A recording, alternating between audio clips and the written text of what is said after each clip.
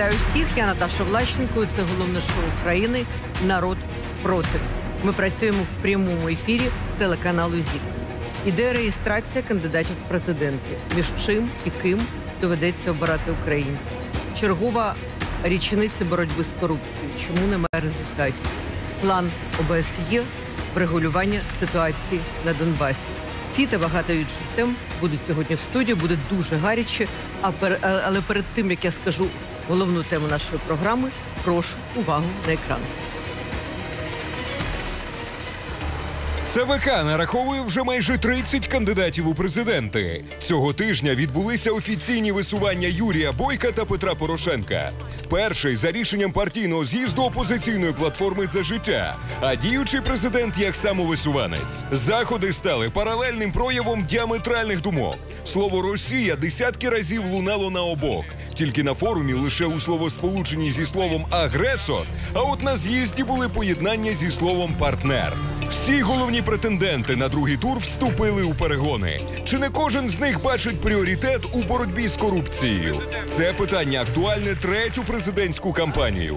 Однак справи кращими не стають. Натомість ми бачимо публічний конфлікт між НАБУ, САП і генпрокуратурою у минулому році. А тиждень тому з'явилася інформація, що НАБУ закрило майже 30 кримінальних справ.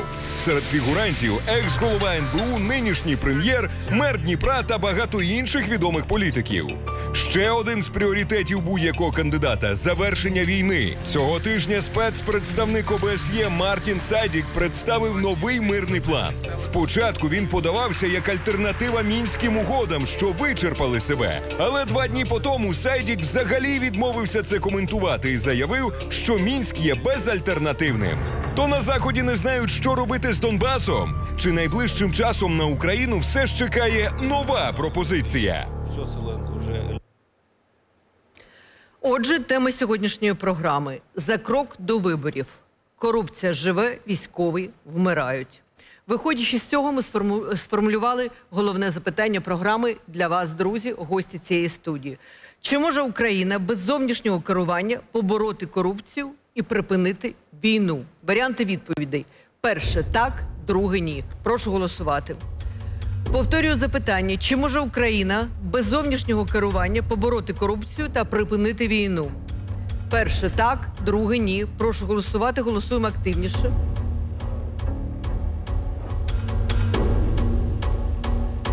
Голосуємо активно. Зараз побачимо інформацію.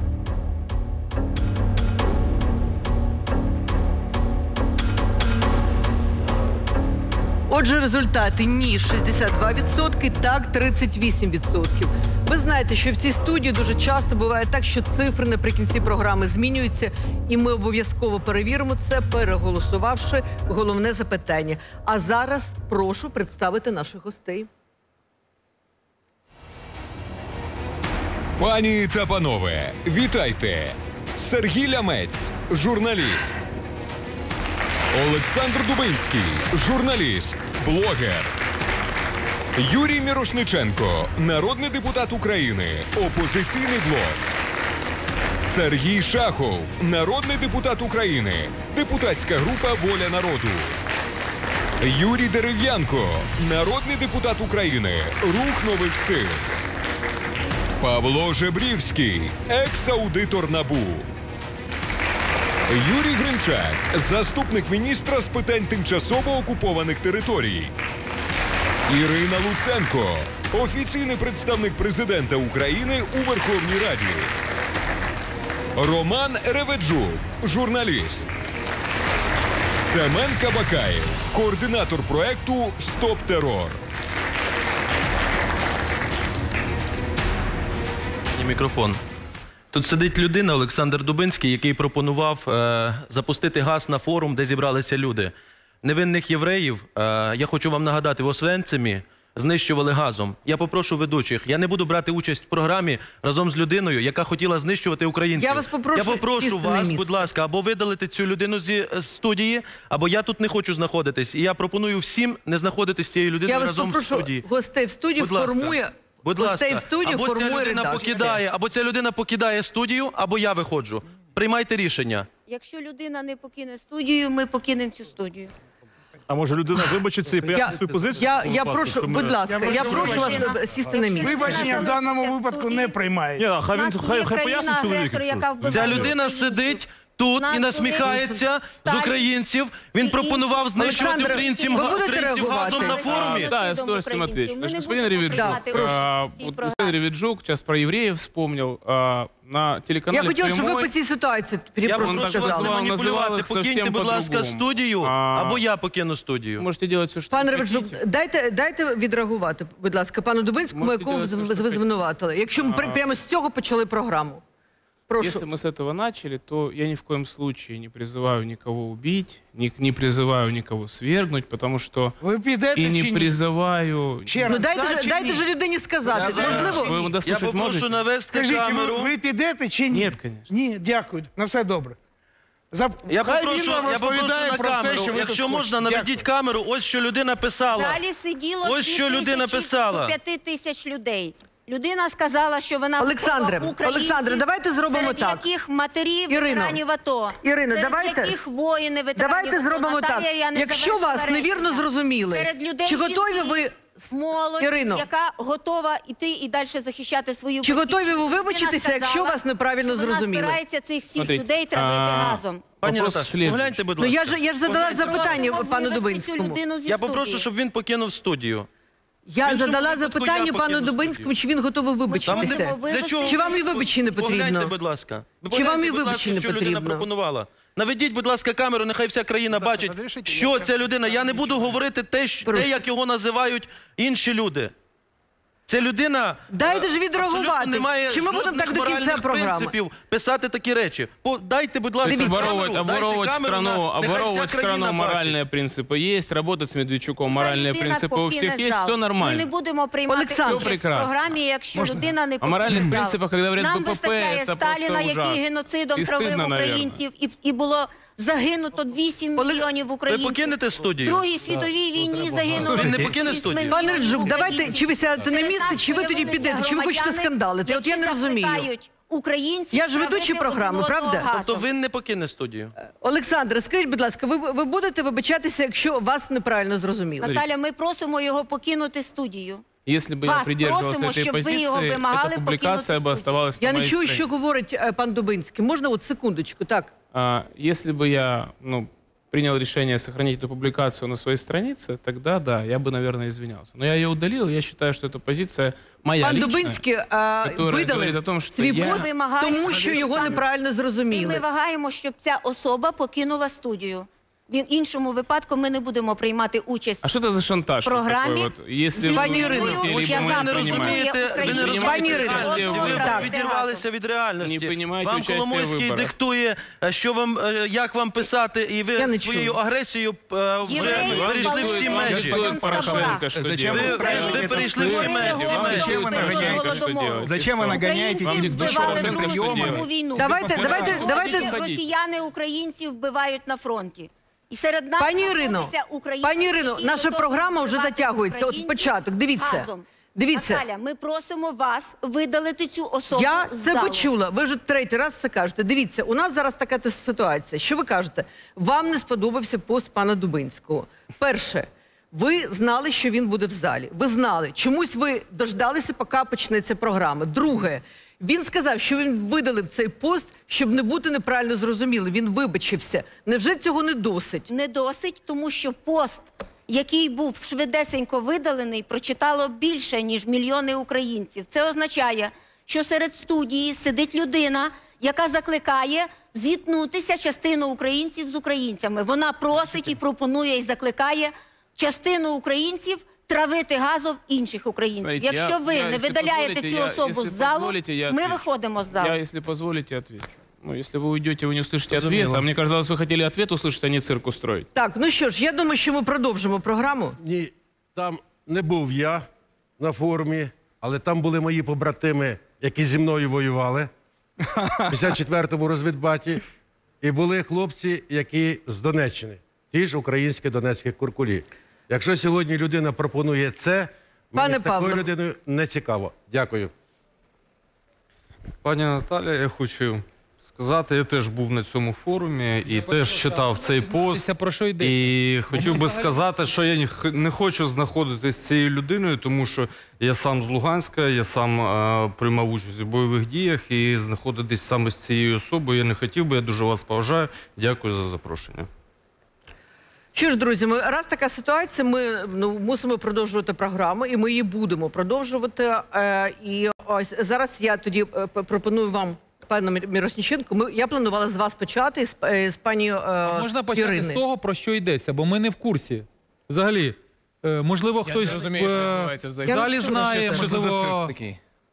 хтось знає, про що йдеться. Ну, загалом знаємо. Е, Олександр, Бо ми тоді не знаємо, про давайте, що давайте йдеться. ви розкажете про що йдеться тоді. А, про что идет речь? Значит, э, в формате неудачной шутки я опубликовал пост, на котором написал, что м, вот шанс, был шанс у нас разобраться с Порошенко, если бы мы а, на форум пустили газ. Потом подумал, что это неправильно и категорически не может быть, но оставаться в моей ленте, удалил эту публикацию там буквально через очень короткий срок. Да? А, Но ее запустили порохоботы и активно начали разгонять, используя эту публикацию для того, чтобы, во-первых, написать заявление в СБУ. На меня они это сделали, а, отправили его в тот же день, то есть начали кампанию по, ну, так как я активно оппонирую всегда а, господину Порошенко и его сторонникам, начали использовать вот эту вот э, неудачную публикацию для того, чтобы э, каким-то образом дискредитировать меня. Ну, я, ее удалил. Я маю сказати для всіх глядачів, для тут присутніх, що а, склад сьогоднішніх гостей був відомий всім,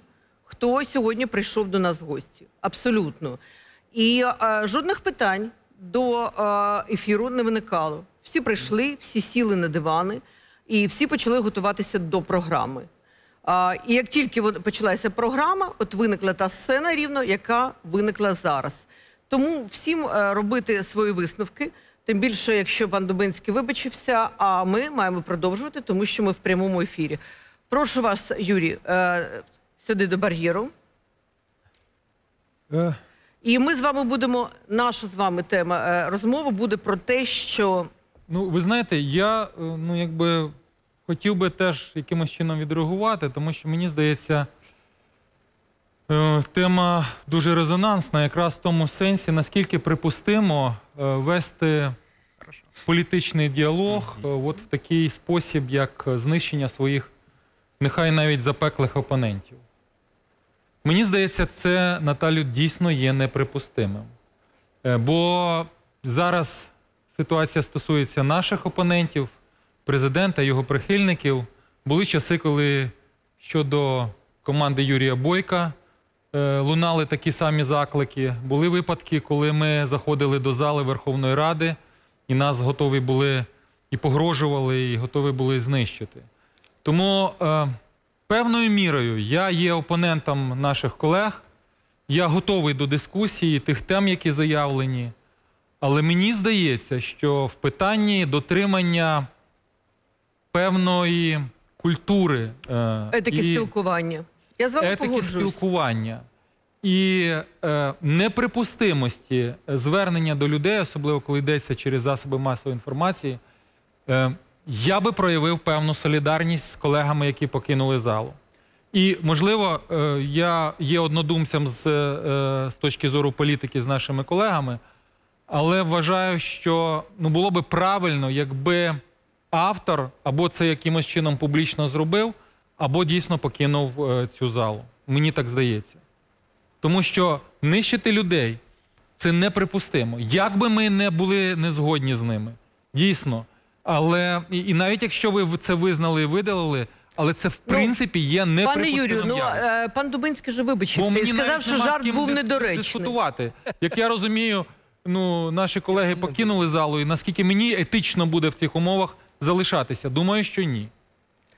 Давайте, дивіться, ви зараз можете дивіться, от у нас ситуація виникла нетривіальна ситуація. я розумію. Я, я, не, я, не, розумію вас як ведучий. я, не, я не пам'ятаю такої ситуації, в принципі, а, там за, за, за весь цей час. Я думаю, що а, певним чином ця ситуація була а, ну, зрежисована. Тому що я ж вам говорю, всі знали склад учасників програми. Всі знали. Е, як вам поступити в цій ситуації? Це е, ну зрозуміло, коли е, Дубінський каже, що він е, вибачився і зняв цей пост, і він прожартував, але вважає це жарт недоречним. Якщо ви хочете ну ще усугубляти Ні, це, я вам скажу так. Тоді Е, так. Тобто, ви можете що таке да. вибачення? Так. Знову ж таки, в порядку дискусії. Це дія. Так само, як була дія в вигляді посту, так само, можливо, це і була би форма вашого вибачення. Так, дійсно, я не згоден з курсом, який провадить сьогоднішня влада. Так, дійсно, я піддався емоціям. Так, дійсно, я визнаю, що я є неправий. І так, дійсно, для того, щоб ви пересвідчили, що це так і є, я готовий е, покинути е, залу і не брати участь в дискусії. А Мені стоїть- здається, це був би е, ну, і чоловічий, і мужній е, вчинок е, ну, людини, яка користується повагою. Уважаемый Юрий, я хотел бы вам задать один я не знаю, вопрос, чи наші колеги вже е, покинули взагалі територію студії, можливо, ще ні. Можливо, це було би якраз приводом для того, щоб ми врегулювали ситуацію, продовжили Уважаемый програму. Юрий, я могу вам задать один вопрос? Будь ласка. Э, Присутствующий здесь журналист, назовем это так, Ревиджук, который независимый журналист, но почему-то бегает следом за своими руководителями, несколько дней назад в эфире одного из телеканалов позволил себе антисемитские высказывания, прямо подпадающие под уголовную ответственность по нашим законам. Дословно воспроизведу, сказал, что есть евреи, а есть жиды. Это Я статья. Одну секундочку, неприйнятно. одну секундочку. Через несколько дней он в эфире, по-моему, это было вчера, э, телеканала «Прямые» у Тараса Березовца принес извинения, опустившись в очень долгие рассуждения, что есть разные евреи, есть хорошие, есть плохие и так далее. Это тоже статья разжигания межнациональной розни. Не хотите ли вы проявить солидарность с нашим уголовным кодексом и обратиться к генеральному прокурору супруги Ирины Луценко, которая убежала, и Ну, попросить давайте- завести уголовное... Одну секунду. Можливо, вона ще тут. Он извинился, Александр извинился. Давайте либо мы взрослые люди, мужчины, и каждый отвечает за себя, мы ваши отношения увидели и услышали. По отношению к Александру, к его поступку и так далее, Ні, и так до- далее. До Олександра я, на Одну жаль, не секундочку. знайомий, одну я не можу секундочку. ставити. Прекрасно, вы не знакомы, мы услышали ваши отношения, мы уважаем ваш ответ. Но вы же пришли сюда что-то рассказать, у вас же есть позиция вас лично, вашей партии и так далее. Или мы будем трусливо бегать, просто э, демонстрируя солидарность непонятно с чем. Мы услышали вашу солидарность, мы ее увидели. Прекрасно.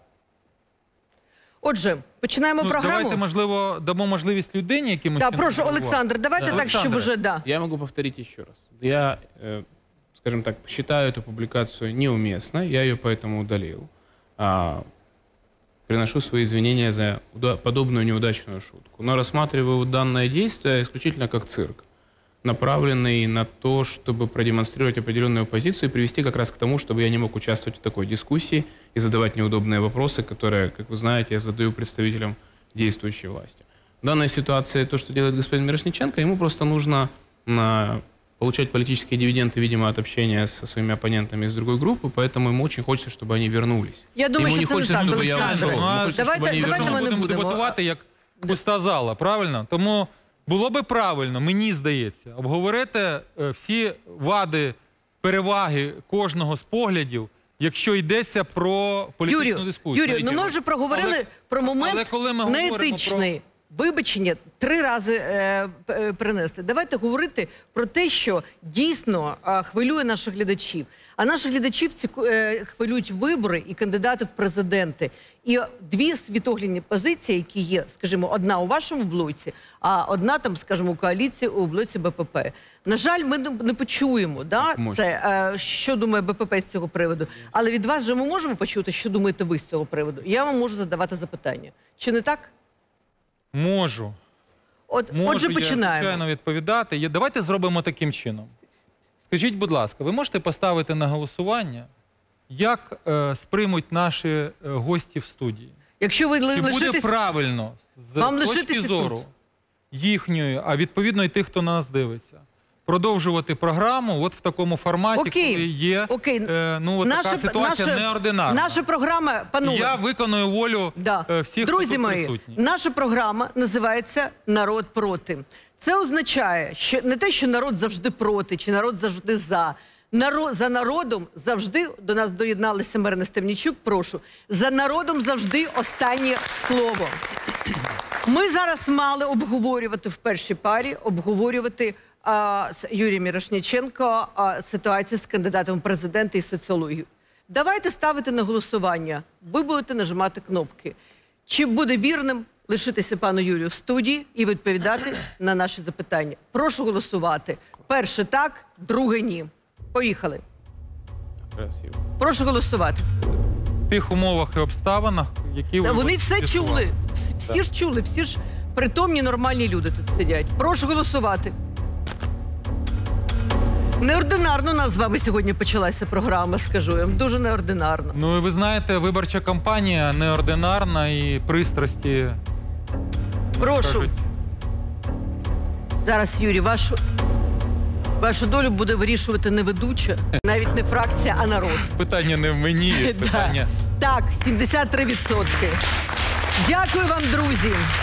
Дякую вам, друзі. Народ у нас, що вам скажу перед тим запитань? Народ у нас мудріший і розумніший, ніж політики. Це 100%. Отже, що хочу вас запитати, пан Мірошниченко.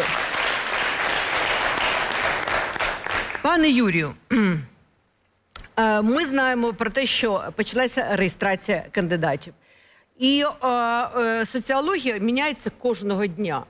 Соціологія а, вчора знову помінялася, і на першому місці ми знаємо, знаємо уже Володимир Зеленський. Багато експертів кажуть про те, що е, е, українська соціологія не показує да, весь, е, е, ну, весь масив інформації, і тому можна сумніватися в її коректності. Не всі е, прізвища даються і так далі. Що ви думаєте з цього приводу? І чому так скаче е, соціологія з вашої точки зору? Ну, по-перше, тут є два підходи. Хто є джерелом е, тих цифр соціологічних, які ми аналізуємо? Є, е, безперечно, соціологія як е, е, спосіб маніпулювання громадською думкою, а є соціологія, яка ґрунтується на е, об'єктивних опитуваннях. Тому є визнані авторитетні, досвідчені соціологічні служби в Україні, які дають нам з виборів вибори, дають нам певні е, е, показники е, рейтингів кожного з кандидатів. І відповідно ми їм, я думаю, можемо довіряти, тому що їхня репутація на те заслуговує.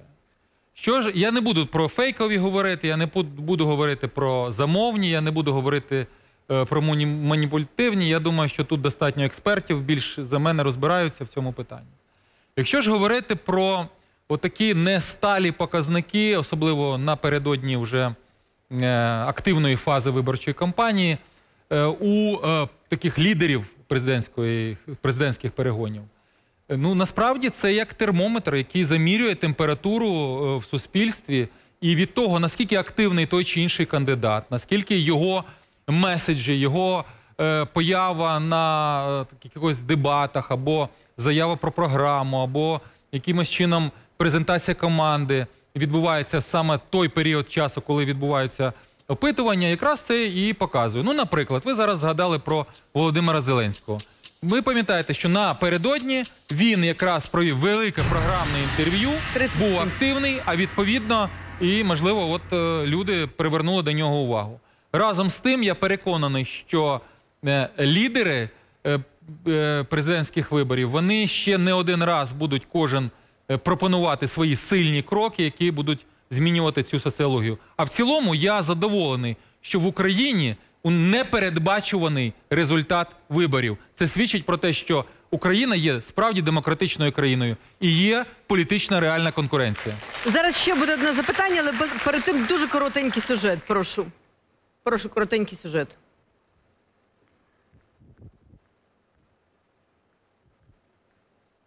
Договоренности могут быть достигнуты в четырехугольнике. Киев, Донецк, Луганск, Москва. Сегодняшняя власть делает все для того, чтобы про Россию или плохо, или ничего.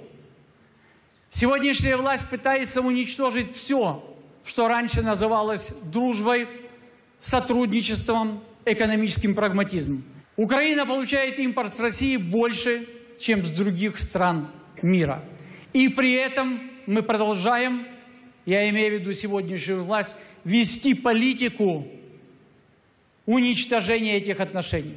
Росія, яка володіла на той момент Україною, завжди проявлятиме імперські амбіції і намагатиметься підпорядкувати собі всю Європу. Якщо не відвести ці загрози, не зупинити їхніх носіїв, Україна сама впаде в смертоносні обійми Росії. Кожний мій крок, вдалий чи ні, ніколи не суперечив стратегії на повний розрив з колоніальним минулим. І цей шлях геть від Москви. От, пане Юрію, хочу вам задати запитання. Дивіться, Порошенко у відео говорить про деколонізацію, Медведчук про дружбу з Російською Федерацією. Тим часом між Росією і Україною сьогодні щодня зростає велетенський мур з десятків тисяч смертей і зламаних життів. Ну, ви знаєте всі ці загиблі і так далі. і так далі. От на вашу думку, чи нормально за таких умов говорити про мир та партнерство з Російською Федерацією? Ви знаєте, в цьому сюжеті ну, мені дуже прикро, що немає Ірини Луценко. Напевно, вона би презентувала позицію команди президента. Якраз в цьому сюжеті подано і два стратегічних погляди на те, в який спосіб досягнути миру, як будувати свої відносини з нашим найбільшим сусідом. З одного боку, президент говорить про е, колоніальне минуле, про певну, е, скажімо, політику агресивну Росії, і він не вбачає можливості подальших дружніх е, стосунків з Російською Федерацією, обґрунтовуючи це тими аргументами, які він наводив. З іншого боку, ми почули виступ е, е, Віктора Медведчука на е, з'їзді платформи опозиційної за життя, де він говорить, що Росія найбільший наш сусід, незважаючи на великі, красиві патріотичні гасла з боку влади, товарообіг з Росією збільшується. Економічні зв'язки обірвані бути не можуть, тому що деякі позиції українського імпорту неможливо обійти, е, такі як, скажімо, газ, там, твели і так далі. і так далі. Мало того, тенденція така, що все одно Росія залишається найбільшим нашим партнером. І в таких умовах було би правильно е, вибудовувати політику добросусідства. Сьогодні говорити про дружбу, напевно, е, ну, неможливо, е, тому що йде війна, але добросусідство і максимально локалізувати потенційні ризики, які би роздмухували цей е, конфлікт. Я не буду занурюватись в, е, всередину цієї дискусії, в усі нюанси, тому що я, на жаль, це не, не буде повноцінна дискусія, бо нема е, моєї візаві. Але скажу е, в тому, що така сама дискусія відбувається, напевно, в кожній сім'ї, е, в кожному колективі, де люди намагаються з'ясувати, а в який спосіб е, припинити війну. Чи йти е, ще більше на загострення і, врешті-решт, поставити крапку в відносинах з Росією, чи навпаки, зрозумівши, що за ці п'ять років ми військовим шляхом е, протистоянням не досягли очікуваних результатів, так само залишається війна на сході, так само ЛНР, ДНР не е, впали, як кажуть, е, в е, своєму економічному і військовому потенціалі. Так само Крим є окупованим до сих пір, і нам треба змінювати тактику агресії на тактику. Яка е, тактика агресії? Що певної Україна взаємодії. агресор чи що? Пане Юрію, що ви собі тут дозволяєте? Яка тактика агресії? Я Три загиблих засвідчень з вони були агресори, чи що в нас? Ось Зараз, будь власне ласка, слухайте довкола акуратніше. цього і точиться дискусія. Зараз, Е, Юрій. Кожен Дискусії е, з нема з цього присутніх, приводу. е, Агресором Україна кожен ніколи не з була. тих, хто нас бачить, Ніхто має до ніколи цього не своє скаже, що Україна була агресором в цій студії. Я думаю, що Юрій не мав на увазі, що Україна агресор. Було сказано, Ні-ні. що Україна відноситься до тактики агресії. Я все прекрасно чув. Зі слухом поки що все гаразд. Я сказав, Давайте ви що уточни, сказав. уточните свою позицію, щоб пан Михальчишин не нервував. Ви не мали на увазі, Не що не моїх персональних якби вподобань. Не нервуйте. Я ні в якому разі не хотів вас образити. Я мав на увазі, що є, е, є військовий. Ви сказали, тактика Е. агресії. Я цитую вашу пряму мову, пане Юрію. З боку України була тактика агресії. хай пан коли? скаже, що Коли він має на увазі. Розгорталася, чи коли серце депутату Рибаку вирізали бойовики Гіркіна? Ні. Де була тактика агресії з боку України? Я щось не зрозумів. Тактики агресії з боку України не має бути. Ось що я А сказав. вона була по-вашому, чи що? Що таке тактика агресії взагалі з боку України в вашому розумінні? У нас є конституція, є статут збройних сил, є захист нашої територіальної цілісності і суверенітету. Де тут агресія? Що ви собі взагалі дозволяєте? Давайте, Тут давайте, питання вже не в політиці, я перепрошую, не в політичному шоу.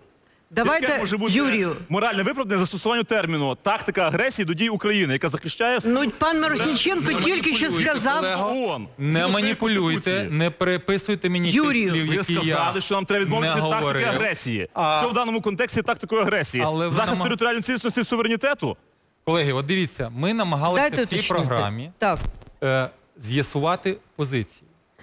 На жаль, програма почалась з того, що хтось не сприймає позицію іншої сторони. Я ні в якому разі і ніколи, ви знаєте мене, не звинувачував Україну в її діях по поверненню Донбасу, Криму і поверненню миру на нашу землю. Мало того, мало того, я в принципі тактику агресії не сприймаю. Що таке так Принципі. в вашому розумінні? Поясніть тоді, будь ласка, що ви завершувати. це самооборона, це виконання Зараз, конституційного панове, от зараз тихо. От зараз у вас є можливість задати Юрію запитання. Ви тут сидите гості, експерти. Прошу, Марино, ви хотіли щось запитати? Прошу. Е, Ви знаєте, е, пане Юрію, я так уважно слухаю ваше розсуждення мислю по древу. Власне, е, і така реакція бурхлива, тому що ви мені скажіть відверто, ви як народний депутат України, ви себе відчуваєте сьогодні в парламенті опозицією? Я відчуваю себе. Тому що ваша фракція називається опозиційний блок, Тому яка що- тепер розділена на дві частини: одна підігрує напряму владі, інша підігрує іншим настроям. От ви відчуваєте, що ви справді є фракція у парламенті опозиційна? Ви відчуваєте е, відповідальність перед тими виборцями, які чотири роки на вас покладали надії, а ви за два місяці до е, виборчого початку виборчого процесу розділилися, розсварилися, бо не знаєте, хто там у вас лідер. Ви відчуваєте відповідальність, коли ви чи- ці чотири роки підігрували владі в недолугій судовій реформі? Питання зрозуміли, пані Марино. Пані Марино, я дуже вам дякую за ваше запитання і вважаю, що ви маєте право бути емоційною. Та всі ми маємо право Так. бути емоційними. Так. Ви не маєте Якщо ви права мені дасте бути шанс. неемоційним. Якщо ви Коли мені дасте ситуація... шанс, Дайте ж я можливість ще на й відповідь. Абсолютно Пані Марино, дайте Якщо ви мені можливість на дасте відповідь. шанс, я ще й відповім. Я вважаю, що е, ми всі люди і ми всі емоційні. Але на відміну від е, експертів, народний депутат повинен бути, крім ем- емоцій, ще й дуже і дуже відповідальним. І в даному випадку, якщо ви ставите запитання, чи відчуваю я себе опозицією, я відчуваю себе опозицією. Е, Чи докладала зусиль моя фракція і я особисто для того, щоб полегшити стан людей, які потерпають від війни? Так, докладали. І в якості законодавчих ініціатив, і в якості е, намагання Наприклад? звертатися як депутат шляхом депутатських звернень, запитів, організації заходів, організації допомоги тим людям, які зараз потерпають від війни. Все це ми робили. Мені дуже прикро, так само, як і вам, е, е, з приводу того, що, на жаль, не завжди е, внутрішня конкуренція дозволяє нам діяти узгоджено всередині. Мені це так само прикро, а можливо навіть і більше, тому що, на відміну від вас, мені приходиться публічно виходити до людей і пояснювати людям, що саме у нас відбувається в моїй фракції. Але я ще раз наголошую: ми, як народні депутати, представляємо весь народ України. Ми не маємо права сіяти розбрат і е, протистояння і агресію. В даному випадку я ще раз повторю, на жаль, це слово, яке я не люблю, е, для того, щоб люди наші ну, перебували в емоціях. Ми маємо заспокоювати людей і давати їм бачення майбутнього. Якщо ми, як опозиція, влаштовували би деструктив в залі Верховної Ради, якщо б ми не працювали шляхом внесення законодавчих ініціатив, шляхом переконання наших колег, шляхом намагання в наших профільних комітетах поліпшити якість тих законопроєктів, які приходять, і є е, в інтересах наших виборців, я думаю, ми були би не парламентарями. Ми були би тими, хто не втримав би сьогодні високе звання опозиції. Ми не змогли би виходити на вибори і пропонувати себе в якості альтернативи влади. Та у вас все влаштовує, формула Роттердам плюс вас влаштовує, вас просто все влаштовує, вам комфортно. Так і скажіть тоді. На жаль, я перепрошую, е, ви мій теско, і я впевнений, що ви щирий в своїх словах. Але, на жаль, е, не може, напевно, не тільки е, представник опозиційної фракції, але й наші колеги, які представляють більшість або є позафракційними, не можуть бути задоволеними тим, що відбувається в нашій країні. Останні рейтинги бачили зростання адекватна статків мільярдера Ахметова. Радіти з того, Скільки там? 800 що мільйонів щомісяця додає. Ясно, що їм добре. Їм прекрасно. і в доходах, і в робочих місцях, Не може народний депутат, тим більше з опозиції, бути за- задоволеним тим, що мільйони співгромадян вимушені їхати за кордон заробляти. А ще мільйони, як біженці, я не буду вживати слово е, тимчасово, скажімо, Ну, е, переміщені. переміщені особи. Е, Я вживатиму справжнє слово біженці тікати з власних домівок і не знайти собі місця в своїй власній країні.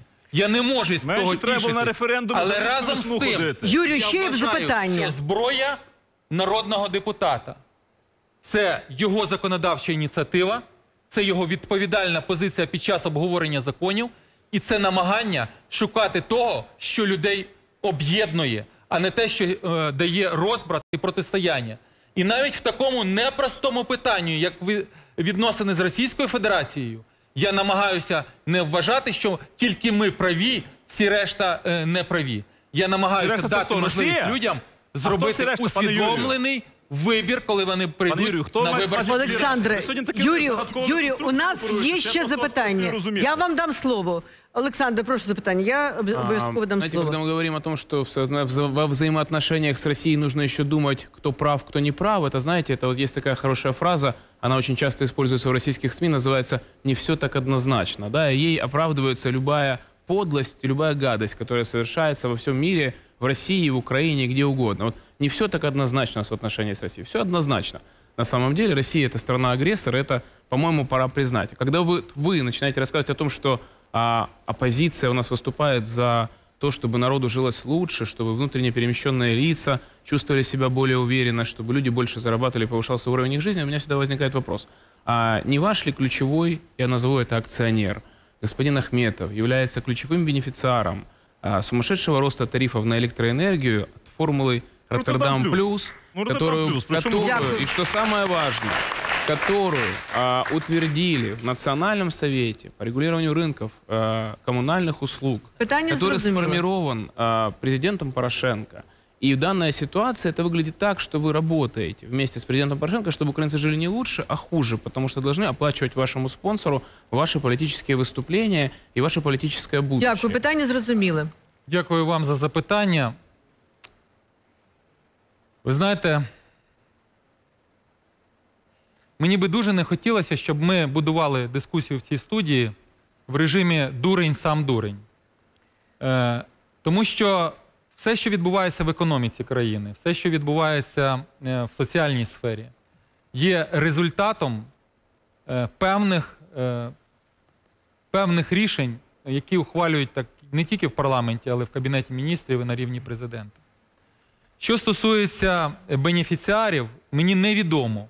Я не є економістом, і мені невідомо, е, хто є бенефіціаром там з підвищення тарифів, тому що я не є тим, хто формує ці тарифи. Якщо ви хочете звинуватити е, Ахметова або будь-якого іншого великого підприємця в тому, що він якимось чином впливає на мою позицію, то я вас запевняю, що ні, це неправда. Я жодного разу, працюючи в фракції опозиційного блоку, а зараз працюючи в групі е, Опозиційна платформа за життя, не чув і не бачив е, ані самого Ахметова, ані його якихось інструкцій в той чи інший спосіб, е, які би впливали на позицію нашої фракції Ну, під час голосування. блоке за життя Тому у вас позиция я ще раз- Медведчука раз- а не Ахметова в данной ситуации. Підкреслю. Ну, бачите, ви змінюєте зараз уже Ні, ну, прізвище, був ім'я. Ахметов, став Але разом з Медведчук. тим, я перепрошую. Але разом з тим, я хочу сказати, що закони в Верховній Раді ухвалюються більшістю. Кабінет міністрів створений коаліцією. До речі, до складу коаліції увійшли е, всі фракції парламенту, окрім опозиційного блоку тоді. Понад 300 осіб е, ця коаліція складає. Немає у вас коаліції. На Ну, жаль, пане на жаль, до вас- до вас буде ще з запитання. в цьому. На жаль, ті люди, які сформували цю коаліцію, які взяли на себе відповідальність за е, е, стан справ в країні, е, переважна більшість втікли з цієї коаліції і сьогодні оголошують себе опозиціонерами. Але я ще раз наголошую: саме ті, хто формував уряд, і є відповідальними за стан справ країни. І не треба перекладати, як кажуть, відповідальність з хворої голови на здорову. Знаєте, от не для треба мене- говорити, що всі ви там однакові, і тому всі ви несете однакову відповідальність, і всім вам там добре. Ні, не добре. чому я поставив питання про те, щоб покинути цю залу. Моя солідарність е, полягала не в тому, що я погоджуюсь з е, точкою зору, там, наприклад, Ірини Луценка або Павла Жибрівського. Не в тому. А тому, що коли ми ведемо політичну дискусію, коли ми пропонуємо незручні комусь бачення, то ми повинні поважати, можливо, не того, хто їх проголошує. В той момент це був опозиційний блок. І нам було дуже важко працювати. Жодного комітету не дали, е, хоча регламент, закон про регламент цього вимагав. Нам виступати не давали. Нам е, наші законопроекти, ви подивіться по статистиці, не ставлять на розгляд парламенту саме тому, що ми є опозиція. А голосувати за ті чи інші закони ми ухвалюємо рішення лише тоді, коли вважаємо, що це в інтересах наших громадян. Тому Дякую, що ми Юрій. не є опозиція до країни, ми опозиція до влади. А ми не будемо зраджувати тих людей, а це мільйони, які за нас голосували, тільки тому, що їх вніс той чи інший народний депутат.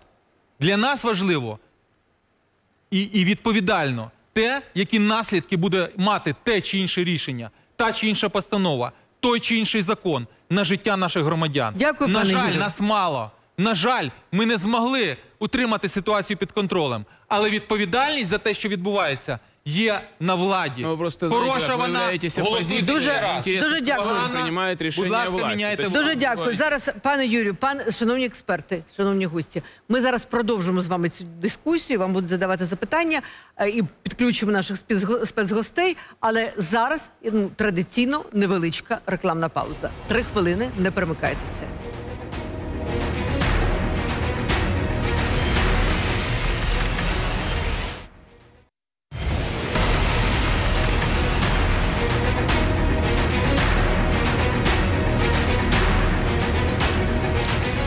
Шановні телеглядачі. В ефірі е, краще ток-шоу України Народ проти. Ми продовжуємо нашу гарячу дискусію. Я впевнена, всі вже один одному дзвонять, говорять, що відбулося в ефірі Зіку і так далі. І знаєте, те, що відбулося у нас, це просто доводить, що прямий ефір це е, найбільш відвертий ефір. В прямому ефірі завжди видно, хто є хто. А ми продовжуємо нашу дискусію з паном Мірошниченко. Зараз йому запитання будуть задавати експерти. Але перед тим як я вам дам слово, пан Дерев'янко. Напевно, за всі. Так, я хочу запитати у пані Марину, хочу долучити наших спеціальних гостей. Марино, ви доєдналися трохи пізніше. Скажіть, будь ласка, як ви ставитесь до лозунгів компанії? Чи вважаєте ви їх реалістичними? І як ви ставитеся до соціології, яка е, вчора от відбулася, наприклад? На жаль, в країні, де уже е, десяток років не проводився перепис населення, де невідомо скільки людей точно перебуває всередині країни, скільки мільйонів є трудовими мігрантами. А, соціологія як наука, от як наука, мето- як методологія дослідження громадської думки, очевидно, не працює. Навіть при всій повазі до тих і- інститутів, і КМІС, і Центр Разумкова, і СОЦИС, і рейтинг все це поважні е, соціологічні інститути, які багато років давали тенденції розвитку суспільства в Україні для нас всіх. Але сьогодні стається така ситуація, що у них об'єктивних критеріїв немає для реальної оцінки. І це очевидно, ми сьогодні повинні сприймати соціологію як частину тактику ведення передвиборної агітації тими кандидатами, які беруть участь у президентській кампанії. Е, я би, знаєте, мене вражає. І я розумію, що це частина політичної маніпуляції, коли, скажімо, на перше місце в рейтингу виходить людина, про яку не знають, яка у неї передвиборча програма, не знають команди, е, крім власне обличчя самого кандидата, не знають пропозицій по великому рахунку. Я далека від думки, що люди насправді на справжньому голосуванні на виборах будуть так голосувати, як у цей момент показала соціологія. Але це насторожує, тому що виборчі технології, виборчі маніпуляції вже очевидні. Тим більше ми бачимо, от навіть по цій студії, по тому, що відбулося сьогодні в студії на початку програми, ми очевидно бачимо, що суспільство просто палає. Доведено до точки не те, що кипіння, а надкипіння суспільства. І влада, розумієте, сьогодні позірно вийшла з е, зали, практично зриваючи прямий ефір і розуміючи, що це прямий ефір, і розуміючи, що ви хотіли не тільки шоу власне у розумінні концерту, іде виборча кампанія, ви надаєте час. Ми хотіли для того, дискусії, ми хотіли відвертої, чесної дискусії почули. для оцих людей, які сидять Так, в залі, так, які тому нас дивляться. Тому що я, наприклад, хочу почути від команди президента, коли Порошенко виступає на форумі і каже, що він хоче холодного миру. Я хочу зрозуміти, як людина, яка є в політиці, що таке холодний мир у розумінні Петра Порошенка. Які заходи? Але ми сьогодні не мали цієї можливості. Президент коротко побіжно пробігся по е, цьому терміну під час свого висування.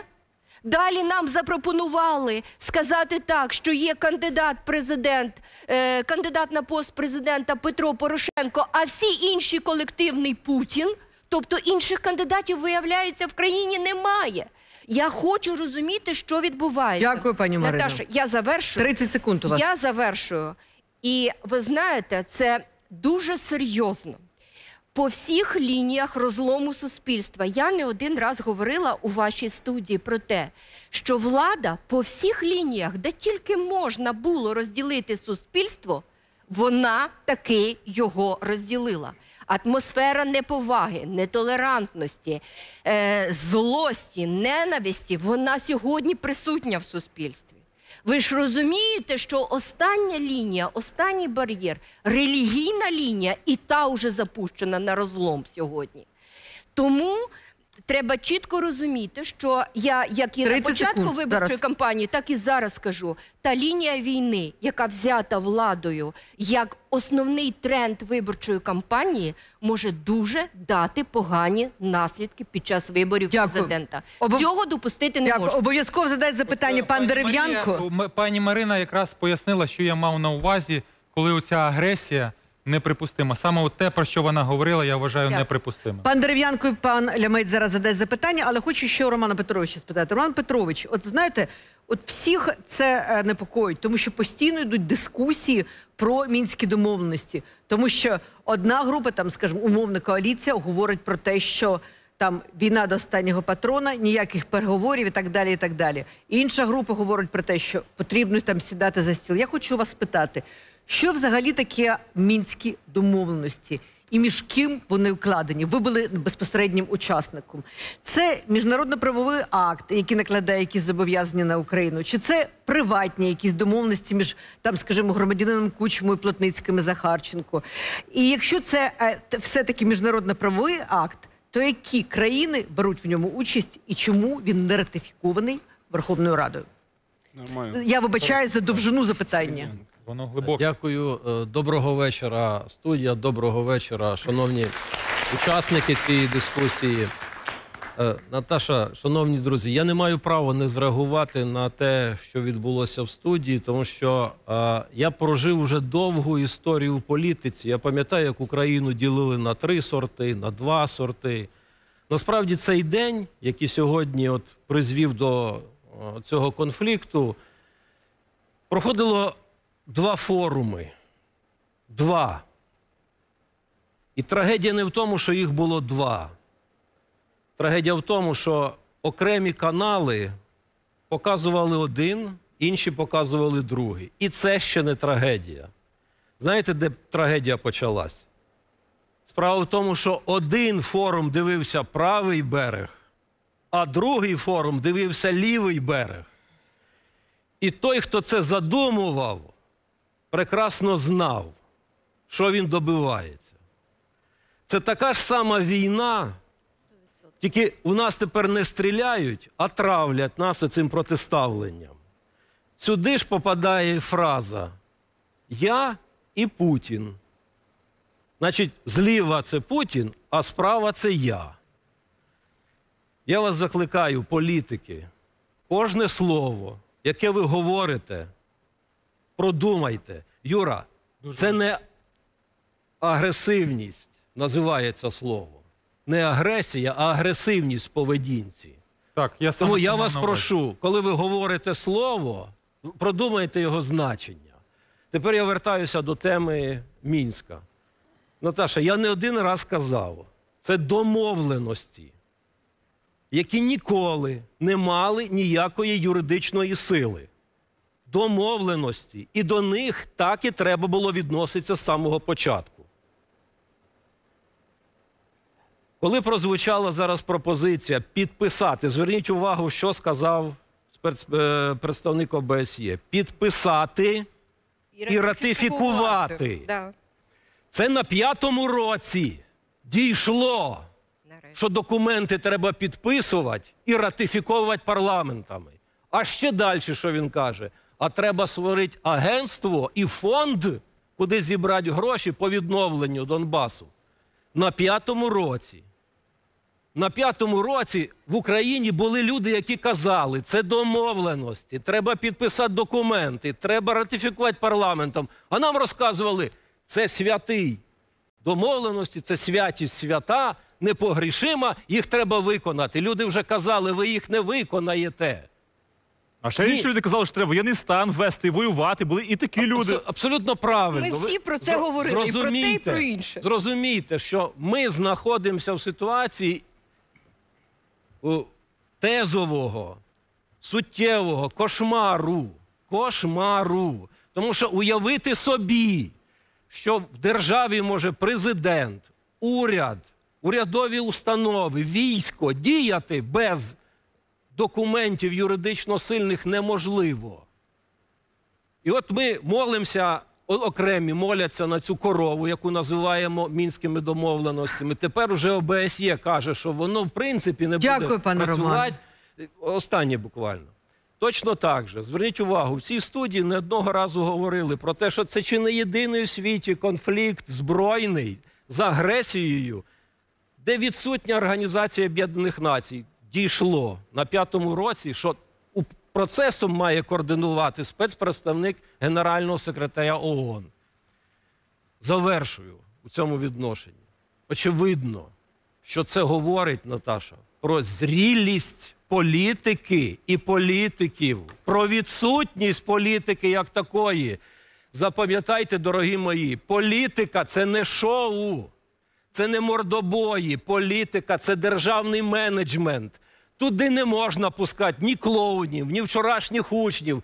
Туди треба пускати людей, які знають, що таке держава, як її будувати, що таке договори. Ви уявляєте собі, колишній міністр закордонних справ у мінську поїхавши, мало того, що не підписав документи, вони не були подані в парламент. Ну ми, невже ми не розуміємо, що на чолі держави людина, яка просто відмовилася виконати, виконувати свої функції? Дякую, пане Романо. Ми обов'язково ще повернемося до теми. Ми будемо продовжувати. Я дуже е, хлопці, дуже вас прошу, е, панове, дуже коротко запитання, тому що мені підказують Розрашевською, що люди хочуть ще задавати запитання. Прошу, Юрій. Добрий вечір, студія. Добрий вечір, наші глядачі, які дивляться. У мене запитання до представника опозиційного блоку, які вважають, що вони є опозицією. Насправді, ви не є опозицією. Запитання. Ви- Запитання дуже просте. Без оцінок. Е, Юрій, ми можемо тут посперечатися. Звичайно, Запитання. ми можемо посперечатися. У мене запитання наступне. Е, я хотів би, щоб ви дуже чітко сказали позицію вашої політичної сили і ваших кандидатів, які йдуть на вибори, без підказок наших, е, значить, е, шановних експертів, які їм говорять, що це там стратегія війни чи стратегія значить, агресії чи агресивності. Ви чітко сказали про те, що Україна не повинна використовувати стратегію агресії. Слово агресія це певна дія, це певна дія, яка має певне спрямування. Сьогодні, на превеликий жаль, так сталося, що саме ваша політична сила, яка була раніше називалась партією регіонів, а зараз так званою опозиційний Я блок, попросила коротке цю- цю запитання. агресію- ну, Пане давайте, Юрію, давайте ми сформуємо за- запитання суттєве, тому що це дуже важливо і від цього Ну так, відбулася так задайте його нарешті. Ну, будь ласка, якщо не будете перебати, я задам. Значить, Так. і саме ваша політична сила нас тягнула в Росію спочатку, і саме ваша політична сила створила такі умови, що наш, нас, наш сусід захопив е, шляхом агресії. Шляхом агресії, окупації, і ми маємо зараз російських солдат на нашій території. Тому скажіть, будь ласка, яка все-таки ваша тактика, яка має бути стратегія сьогодні України по відношенню до того, щоб ми мали Ні, е, перемогу, щоб ми мали мир, щоб ми звільнили свої території, окуповані і Донбасу, і анексований Крим в тому числі. Дякую, пане Юрію. Ми з вами працюємо в цьому скликанні. Мені здається, завжди чули думку один одного і поважали її. За це я вам дуже вдячний. Що стосується е, агресивності, агресії, от все те, що я мав на увазі, мені здається, хоч ви це називаєте, називаєте підказкою наших е, шановних експертів, а насправді я саме те і мав на увазі, про що говорила Марина Ставнічук. Е, агресія всередині суспільства, поділ його, вирішення е, суперечностей шляхом, ну, скажімо, застосування сили. І ви були в тій залі Верховної Ради, на відміну від, можливо, багатьох присутніх, коли бачили, е, як агресивність е, або агресія вчинялася щодо нас, нашої фракції. На жаль, я з вашого боку тоді принциповості щодо мирного, цивілізованого ведення дискусії не бачу. Я не закидаю. Я розумію, що тоді е, ну, такий стан був психологічний, і багато хто вважав, що дійсно партія регіонів, а тепер, якби бувші е, члени партії регіонів, це втілення всього вселенського зла. Сьогодні, за 5 років, е, багато людей, в тому числі і в залі Верховної Ради, можуть порівняти і рівень життя, і кількість проєвропейських законів, які ухвалювалися, в тому числі і закон про доступ до публічної інформації, реформа Кабінету міністрів, та й врешті-решт е, угода про асоціацію в переважній своїй більшості була підготовлена і е, запропонована до підписання якраз за тих часів, коли партія регіонів була при владі. Тому багато існує міфів, які демонізують тих, а це було понад мільйон людей, які входили до партії регіонів. Так, були люди, які зловживали довірою. Так, були люди, які були за, е, залучені до корупції. Так, були люди, які не виконали волю народу щодо е, проєвропейського вибору. Хто з них покараний зараз? Так. Я, Ви я ще раз знаєте, що наголошую, це не нагадує? мені судити. Ви сказали, Колеги, хто покараний, Це якщо нагадує, що в цьому винні погані Колеги. Гітлер, Гіммлер і Герінг. А Я вся вас- НСДАП Я- до теми сьогоднішньої Пане нашої Юрію, е, Пане, стартової ситуації. пане Юрію Михальчишин, Я я дякую вам вам, дам але дайте я обов'язково завершу, будь ласка. е, Бо- час на, на розмови. Е, Мій колега Дерев'янко, мені здається, поставив дуже глибоке запитання. І в частині того. Але я прошу вас яка все-таки має закінчувати, бути- тому що є Так, запитання із залу. Зараз завершу. Так от, якщо ми говоримо про державотворчі процеси, то вони мають бути певною мірою е, з елементом наступності. І все те корисне, позитивне, те, що підсилює е, економіку України, те, що підсилює її позиції на міжнародному рівні, ми повинні продовжувати від е, влади до влади. І от те, на чому наголошую і я, в тому числі, як відповідальний політик. Як те, звільнити. про що Території говорив звільнити, Роман запитав. Безсмертний, коли е, апелював до професіоналізму, не горлом брати, не кричати, не принижувати, не навішувати ярлики, не називати один одного скотиняками, зриваючи аплодисменти, да? оплески, а системно і професійно, і Дякую. патріотично Давайте ще працювати. пана Лемця послухаємо. Ось в чому полягає наша позиція. Тепер щодо Росії, ви запитали, а як же діяти? Як територію Насправді, звичайна Україна це і Крим, Україна це і Донецьк, і Луганськ. І е, правда полягає в тому, що влада не могла уникнути від діалогу з тими самими представниками терористичних організацій, які були оголошені відповідним рішенням Верховної Ради ЛНР і ДНР. Чому? Тому що там іде війна. Навіть повернення, обмін полоненими вимагав таких контактів. Юрій, ми ще будемо говорити І про я ще раз кажу: Дуже коротко. наша позиція, Час. наша позиція захищати національні інтереси України, повертати територіальну цілісність, але ми шлях. От у президента шлях один. Наш шлях полягає в діалозі. Наш шлях полягає в тому, що підсилюючи армію, забезпечуючи потугу в економіці України, підносячи рівень життя, все ж таки стратегічно ми вбачаємо рішення припинення е, війни не зброєю, а якраз Дякую. діалогом. Сергій, дуже Ось коротко. така наша політика. Дуже коротко, тому що час затягуємо. Ще є зал, так? Прошу. Спасибо. У меня вопрос следующий. Не считаете ли вы, что за все эти годы сформировался некий слой людей, который заинтересован лишь в одном, чтобы удержаться во власти? Поэтому, когда вы работаете представителем Януковича, а потом плачете о том, что как вы виноваты перед людьми, а сегодня вы являетесь представителем УПА-блока, который до недавних пор вел переговоры с Медведчуком, и только по деловым вопросам договоренность не получилась.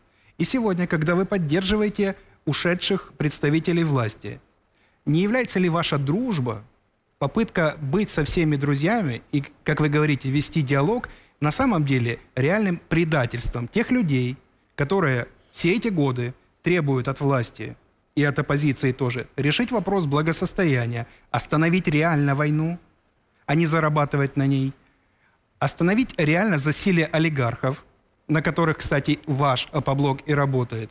То есть не является ли ваша дружба хуже, худшим предательством, чем э, так называемая агрессия, которая агрессия тех людей, которые пытаются просто Дякую, ответить зрозуміло, на простой Сергію. вопрос. Дякую. Спасибо. вам, дякую вам. Філософське Ви запитання. поставили і зачепили кілька моїх особистих емоційних речей. Я державник, я, можливо, поганий політик. І коли я бачу, коли ховають Небесну Сотню молодих, старших, жінок і чоловіків, які загинули з думкою про е, свою країну, то мені не соромно за те, що я е, мав на очах сльози. Мені не соромно. Це був момент, коли Україна на Майдані прощалася з цими людьми.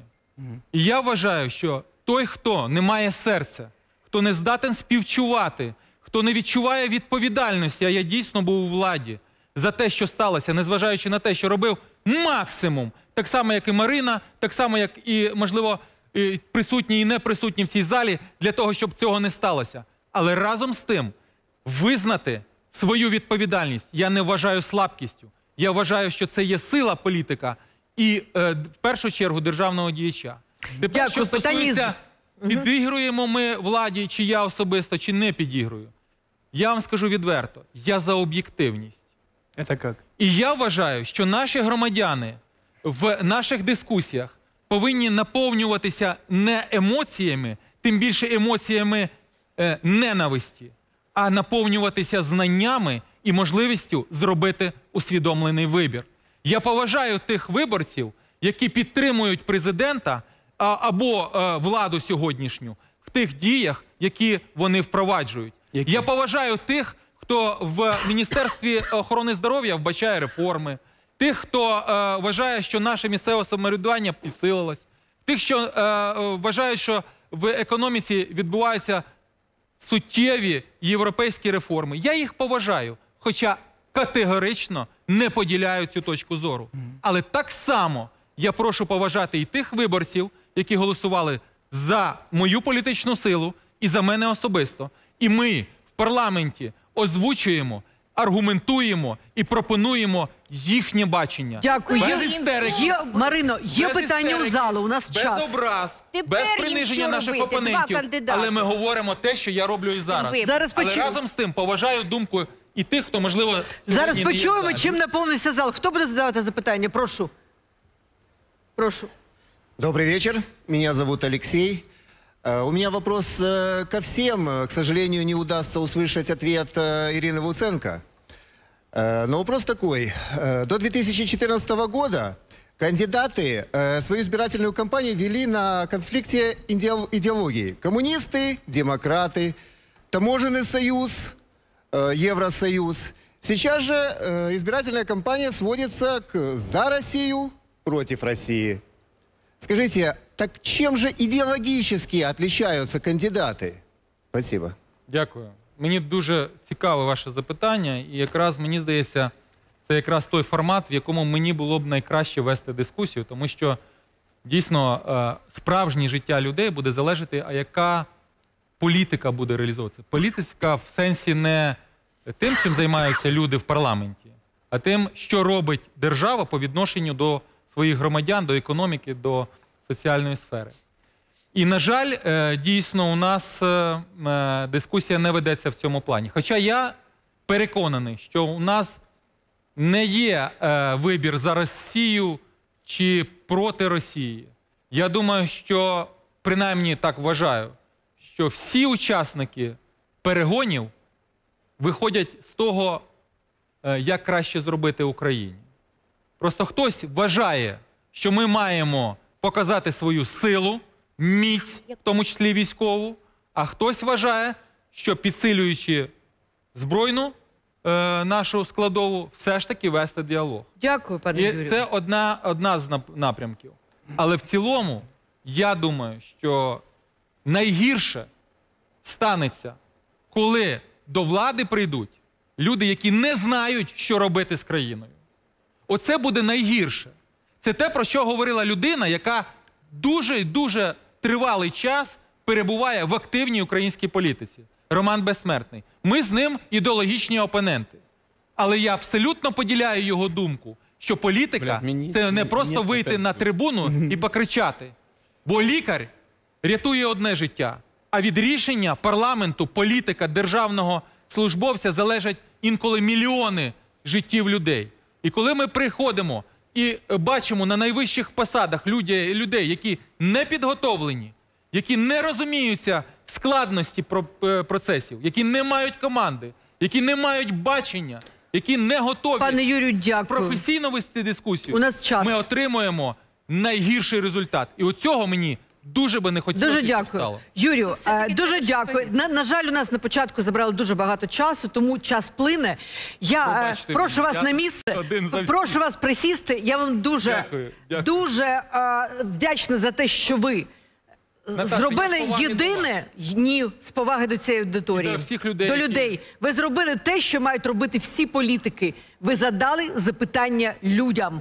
І ви дослухалися до їх думки. Я думаю, що це було дуже мудро. А тепер слово резонерам. Прошу, Макс Бужанський. Товарищи, прежде всего хотел бы вам сказать одну вещь. Представитель президента либо не приходит, либо не бежит. Никуда не бежит, никогда не бежит, ни при каких обстоятельствах не бежит. Запомните, если он бежит, это плохой представитель плохого президента. Просто подумайте об этом. Это правда. Это было позорно, вы все это понимаете. Теперь, что касается того, что говорил Юрий. Юрий, вы как-то э, такая фраза промелькнула насчет того, что в семьях, на кухнях по вечерам думают и спорят. Я вам скажу, что думают э, в семьях, на кухнях по вечерам. Понимаете, вы, не лично вы, ваша м, политическая сила и политическая сила наших беглецов загнали страну в такие рамки, когда президент цинично спекулирует войной, он не закончит ее никогда, потому что это никаким образом вообще не укладывается в его цели, с одной стороны. С другой стороны, когда я слушал только что Медведчука, если бы я не знал, о чем идет речь, я бы подумал, что наши войска стоят под Тулой и откроили все, что от нас до Тулы, понимаете? Я вам вот что хочу сказать. Вы тут упомянули, э, что вам не дали комитетов после Майдана. Э, Ваши избиратели дали вам всю страну, всю власть. Янукович доигрался до Майдана, и вы ему ничего не сказали перед этим. Потеряли все. Ваши оппоненты хотели вас на этом Майдане вешать. Слава богу, все обошлось, и вы огорчаетесь, что не дали комитетов. Дорога, которой вы идете сейчас, когда Медведчуку никто не говорит, что ж ты несешь, кто же на кого напал, в конце-то концов. Я имею право это говорить, я противник власти такой, как вся ваша фракция, не противник, но я понимаю, что он несет ерунду. И никто из вас этого ему не говорит. Второй раз уже речь пойдет не о комитетах. Вы утопили все тогда, вы утопите все и сейчас. И если это не есть цель, то вы просто издеваетесь над своими избирателями, над теми остатками, которым просто некому приткнуться. А вся остальная страна, зажатая между вами и президентом, она готова выбрать кого угодно, только чтобы больше никогда не слышать ни об одних, ни о вторых, что мы и наблюдаем. Дякую. Пан Михальчишин, прошу. Юрій сьогодні такий емоційний, як ніколи. Прошу, Ну, Юрій. насправді зараз без емоцій, а раціонально спробуємо проаналізувати те, що відбувається.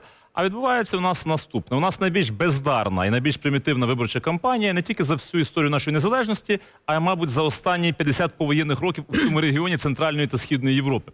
Нас із вами, шановні друзі, спеціально намагаються зробити примітивними амебами. Максимально знизити рівень критичної рефлексії, максимально спростити рівень проблем, які ми обговорюємо, максимально нас залякати, максимально нас затиснути в якісь рамки, поставити в штучні обмеження, щоб не ми робили вибір, а вибір робили за нас. Причому цей вибір був безальтернативний. На зразок, що вам більше подобається, захворіти, вибачте, сифліусом чи снідом, і при цьому міркувати про те, як лікуватися подорожником. Зрозуміло, до чого ця аналогія. І от, власне кажучи, у такому контексті, зрозуміло, що і штучне завищення психоемоційного градусу має свою мету. І штучне збільшення кількості псевдокандидатів президенти має свою мету. І штучне поляризування виборців різних регіонів, різних уподобань теж має під собою ту саму мету. І штучне замовчування проблем, про які ми говорили ще не так давно. Згадаємо, листопад місяць, воєнний стан у нас був, агресія Росії в Керченській протоці в Чорному морі. Де наші хлопці, які сьогодні сидять в Москві, в ізоляторі ФСБ в Ліфортово? Хто сьогодні говорить про них? Як їх будуть повертати додому? Ніхто про це навіть не згадує. Які у нас підсумки воєнного стану? Які у нас результати вивчення обороноздатності, що треба підправити, посилити, або навпаки, як перегрупувати наші сили? Ніхто не говорить. У нас Білорусь зараз переходить майже у склад сусідньої держави Російської Федерації. У нас плюс 1200 кілометрів кордону неприкритого. Що далі будемо робити? Ніхто не скаже. А ці проблеми треба було обговорювати. Минули зимові свята. Зараз у нас виборча кампанія. Турбується, що рейтинг, вибачте, в клоунів завеликий. А знаєте, коли борються клоуни і мерзотники, то у нас з вами чомусь не залишається абсолютно ніяких альтернатив здорових. І це штучна зовсім ситуація. Нас і ведуть свідомо, цілеспрямовано, знищуючи елементи народовладдя, приглушуючи і доводячи до абсурду так звану демократію, нівелюючи свободу слова, і ми сьогодні є свідками того, що воно часто перетворюється. Знову ж таки, нас з вами ведуть не вже в прірву, ми вже летимо в цю прірву. Час зупинитися і взяти курс нагору. Час все-таки вибиратися з цієї прірви. Дякую, пан Михальчишин. А зараз, друзі, моя друга тема це корупція. Влада роками обіцяє її викорінити. Дій, діючі можновладці вже створили кілька нових антикорупційних органів. На черзі, як ми знаємо, антикорупційний суд. Попри це, рік 2018 так і не став роком перемоги над корупцією. Сюди запрошую пана Дерев'янка Юрія і Марину Стевнічук. Прошу, панове. Перед запитанням увага на екран. САП, НАБУ та НАЗК. Три новостворені органи, покликані протидіяти корупції, вщент розсварилися між собою. Це сталося восени 2017-го. 18-й пройшов під акомпанемент цих чвар. У конфлікті між САП та НАБУ дійшло навіть до силових протистоянь. З боку НАБУ дійшло і до судових позовів на антикорупційного прокурора Назара Холодницького. Але наразі вони закриті. Тим часом спалахнув скандал навколо антикорупційного бюро. Стало відомо, що під кінець року у грудні було закрито близько 30 кримінальних проваджень. Фігуранти перші обличчя держави та опозиціонери. Закрили навіть справу щодо прем'єр-міністра стосовно його зловживання службовим становищем. Тепер перевіряють законність таких дій набу. Що ж до виборів президента, кандидати за законом мають подавати декларації. У НАЗК заявили, порушення різного роду знайшли у всіх кандидатів. 14 з них вже внесли правки. Серед головних похибок у деклараціях більшість досить суттєві. Відсутні кадастрові номери нерухомості, записані авто, які не існують в реєстрі, та не вказані юридичні особи, кінцевими бенефіціарами яких вони є. Тобто приховують бізнес. То коли ж по-справжньому запрацюють антикорупційні механізми в Україні? А головне, чи можна побороти корупцію взагалі, якщо вона вже вразила людей, що претендують на посаду голови держави? А панове, ви будете здивовані, але навіть в такому форматі, коли у нас половина покинула зал, все-таки ми перебираємо час, тому будемо просити. Зараз ми, по-перше, вмикаємо знову таймер і будемо просити чітко, конкретно і притримуватися часу да, і регламенту. Запитання до вас, пане Юрію Дерев'янко. Ви, як ми знаємо, всі здебільшого підтримуєте НАБУ, голову НАБУ Артема Ситника. Тож, чи можете прокоментувати, чому зусилля НАБУ зосереджені на розслідуваннях справ відносно голів селищних рад, е, там, директорів підприємств, суддів низової ланки, де провадження проти топ-чиновників, членів Кабміну, керівників правоохоронних органів, депутатів тощо? І навіщо вам антикорупційний суд, коли справи туди роками не будуть передаватися? Як зараз вони не передаються? Прошу. Знаєте, коли ми говоримо про бурхливу боротьбу з корупцією, яка вже триває 28 рік, то я хочу сказати, що це повна профанація все. Абсолютно все. Тому що всі бурхливо борються з наслідками, а не з причинами. І причиною корупції є ця бандитська система влади, яка в нас зараз в Україні існує. Олігархічна бандитська злочинна система.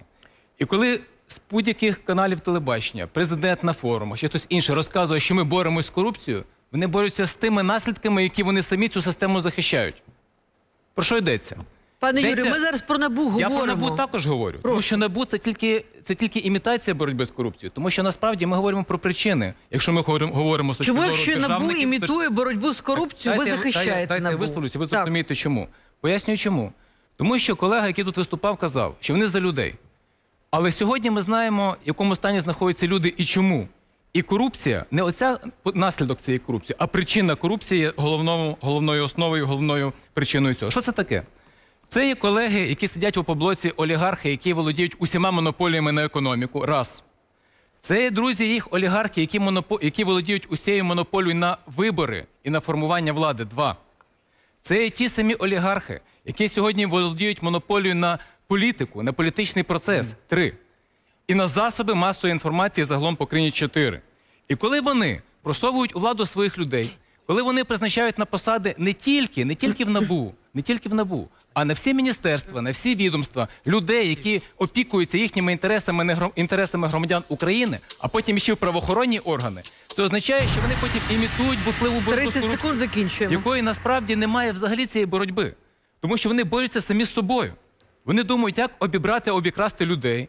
Потім зрозуміли, що це можна узаконити, і це робити законно через Роттердам Плюс, через пана Ахметова, через Дюссельдорф Плюс, через газові контракти і схеми, де Фірташ так само володіє всіма газовими мережами. І далі розказують нам вішати цю лапшу і говорити: а тепер національна піар-компанія, як у НАБУ обирають. Жалко, що пішов один з аудиторів НАБУ, якого вся країна призначала цілий рік. Він би нам розказав: оцей піар велика компанія. Це Ми- ми все хотіли у нього запитати.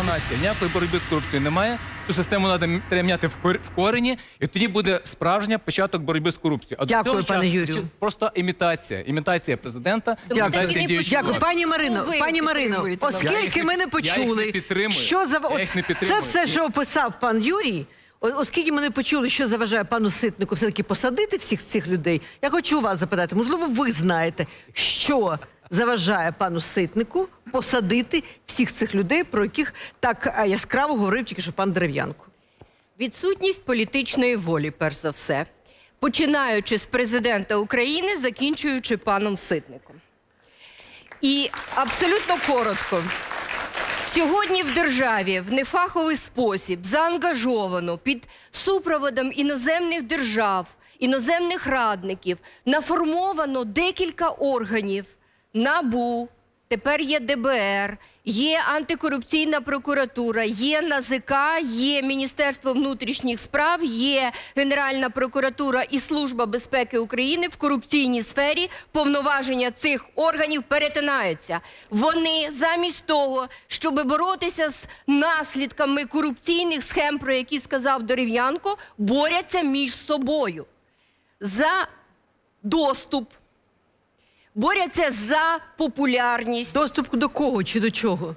За доступ до тих, хто є у них підсудним, підслідним і так далі. Хто буде вести ці справи? Хто буде? Хіба це секрет, що в країні продаються кримінальні справи?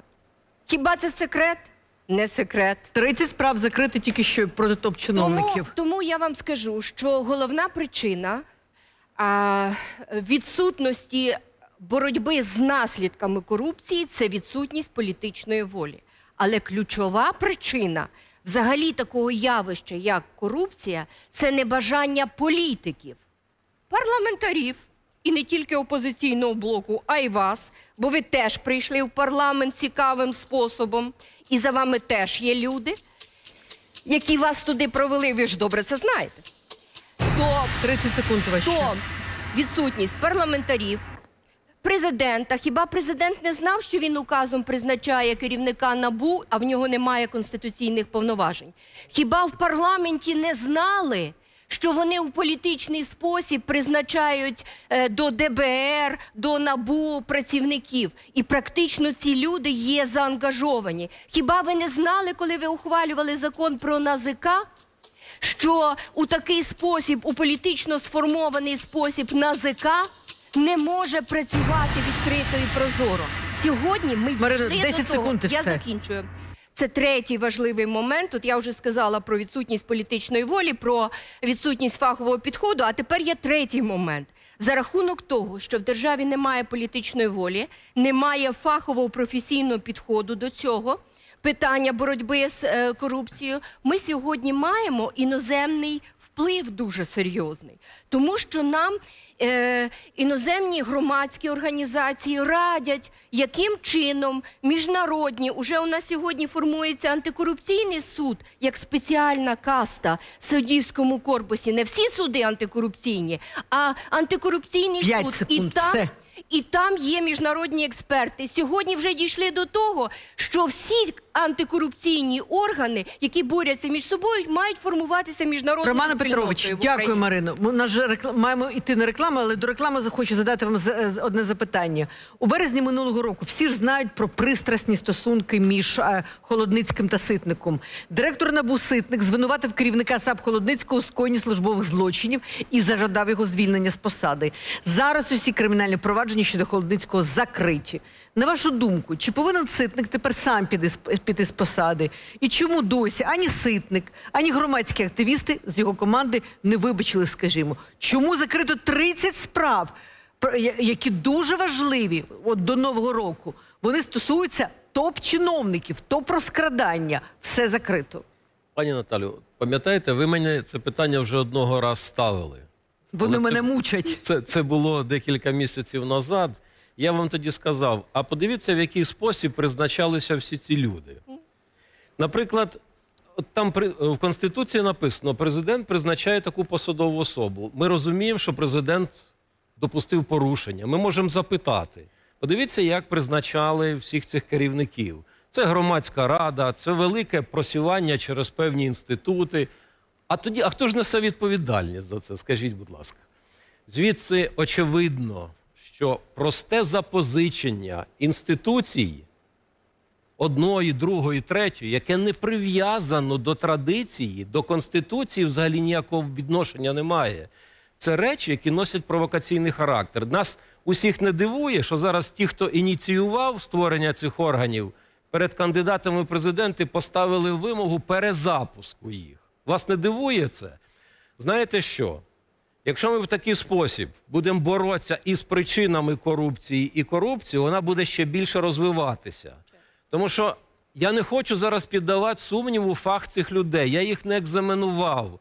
Але даруйте для того, щоб бути фахівцем у справі боротьби з корупцією, треба бути зубром слідаком. Треба мати товсту шию, треба мати досвід. Тепер подивіться, що ми зробили. Прокуратури, з поліції пішли ті, хто тягнув цю справу, і ким ми їх замінили. Ось де відповідь. 30 секунд. А, все. Панове, ви обов'язково задасте зараз свої запитання до наших дискутантів, але три хвилини реклами обов'язково повернуся в цю студію.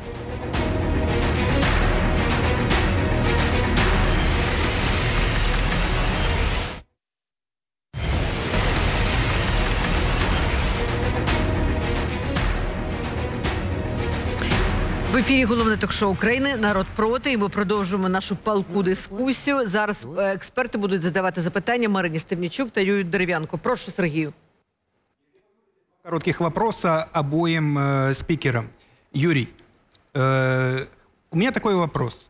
Э, очень много говорится о том, что Зеленский не задекларировал офшор, да, или вот какие-то депутаты расходуют деньги на бигборды непонятно с каких сумм, да, Лешко бегает, э, получает деньги от Ахметова. Но скажите, пожалуйста, почему за, так- за столь долгие годы никто не задал простой вопрос, а с каких денег живет Тимошенко? которая официально декларирует, что она пользуется арендной машиной, живет в арендном доме, не живет только на одну зарплату, и при этом мы видим, какие мероприятия она организует. Она буквально на, кам- на каждом столбу, я имею в виду ее изображение, висит. И у нее такие масштабные съезды, которые намекают на то, что от проблем с финансированием у нее точно нет. Тем не менее, нам преподносят каждый год как вкусную конфетку, что Тимошенко бедная и несчастная. Порошенко. Мы долго, много лет ели вот эту сладкую конфету под названием, что он уже миллиардер, что он уже настолько богат, что он не начнет воровать. И тем не менее, мы видим из года в год, что и он, и его окружение продолжают воровать и зарабатывать намного больше, чем они официально декларируют. Так скажите, Питание. пожалуйста, почему мы не занимаемся вот этими ключевыми персонами? Почему мы постоянно начинаем ловить э, за то счезат какого-нибудь судью или какого-нибудь адвоката или какого-нибудь депутата, который где-нибудь там квартиру не задекларировал в центре. Это вот вопрос к вам. В чем, в чем подвох? И, Марина Ивановна, я думаю, вы очень точно объясните такое парадоксальное явление. Две цифры. В Саудовской Аравии в прошлом году борьба с коррупцией принесла государству 100 миллиардов долларов. В Украине в прошлом году борьба с коррупцией принесла государству несколько тысяч долларов. тысяч. При этом финансирование национальной полиции более 60 миллиардов гривен в год. Финансирование Генеральной прокуратуры более 7 миллиардов гривен в год. Финансирование НАБУ, САП и всех вот этих органов, включая НАЗК и вот многочисленных борцов с коррупцией, составляет миллиарды, десятки миллиардов гривен в год, и при этом они дают эффект для государства несколько тысяч гривен в год. Так э, в чем суть вот этого бизнеса? Не пора ли вообще нам все-таки прекратить борьбу с коррупцией, потому что мы уже под этой вывеской научились зарабатывать миллиарды, точнее не мы, некие люди уже научились зарабатывать миллиарды, а общество, которое требует, наконец, навести порядок, получает очередной, очередной раз, вот, скажем, вот эту вот красивую... Дякую, Сергію. Цікаві Спасибо. запитання. Почнемо з вас, пан Юрій. Прошу. Ви знаєте, ніхто ні з ким не бореться взагалі, і тим більше, якщо ми говоримо із тих представників, про яких ви назвали, де вони час від часу змінювались місцями. Вони дуже чітко усвідомили і сформували ці правила гри, коли ніхто нікого не чіпає, вони міняються місцями влада і опозиція, відкуповуються один від одного, зберігають цю систему і все. І все, на цьому кінець. І ніхто ні з якою реальною корупцією в країні не бореться. Вони експлуатують вибудовану антилюдську, антиукраїнську систему, по суті, по відношенню до свого власного народу, по відношенню до інтересів власного народу, розуміючи, що вони змагаються за те, хто цим буде керувати. І коли ви запитуєте, е, чому, чому, чому, то дуже просто, тому що вони імітують. А коли пані Марина говорить про те, що е, в нас вже зовнішнє керування з'являється, так це взамін на гроші.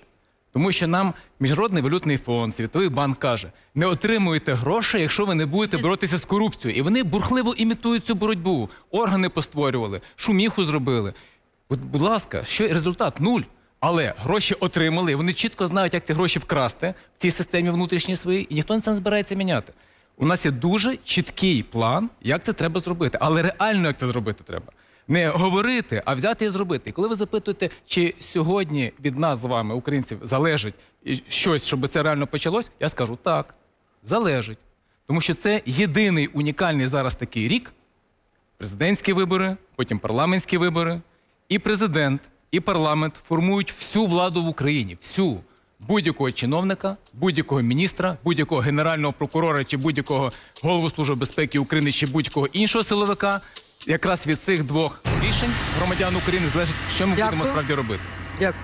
Пані Марино. Відповідаючи на ваше питання, ви сказали декілька тисяч, скажу 5 тисяч е, доларів повернуто до державного бюджету за минулий рік. І притягнуто до відповідальності, якщо мені не змінює пам'ять, 2600 осіб, якраз такого низового керівного рівня і середнього е, рівня е, в- управлінського в державі. Для мене абсолютно очевидно, що все починається з політики, з політичної системи. І тут надзвичайно важливо, важливим є питання е, зміни цієї політичної системи. Без того, щоб на пост президента, без того, щоб до парламенту прийшли відповідальні фахові люди, нічого не зміниться у державі. Для мене абсолютно очевидно, що до тих пір, поки у нас не буде сформована нормальна конкурентна відкрита економіка, не буде відкритого ринку енергетики, нафти, газу, електроенергії. До того часу оці всі корупційні схеми, і ми будемо е, собаку за хвоста ловити, корупційні схеми будуть працювати. Що стосується, е, е, що стосується правоохоронних органів, нам треба повернутися до власного національного досвіду. Ми наплодили сьогодні не ми, а теперішня влада на замовлення Сполучених Штатів, на замовлення європейських е, експертів, на е, доволі часто нефахових наших грантоїдів, які вимагають, вони ж самі заробляють величезні кошти на цьому. І тут Юрій е, сказав правду. Ми зробили систему, яка не є конкурентною по відношенню до боротьби. Вона конкурентна всередині себе. Завжди є між правоохоронними органами певна конкуренція. 10 секунд, але не має бути конкуренції компетенції. в, в сфері компетенції завершую. Не має бути паралельних повноважень, не має бути багато органів, які ні за що не відповідають. Політична основа формування цих органів повинна бути абсолютно е, усунена. Е, персональна відповідальність керівника.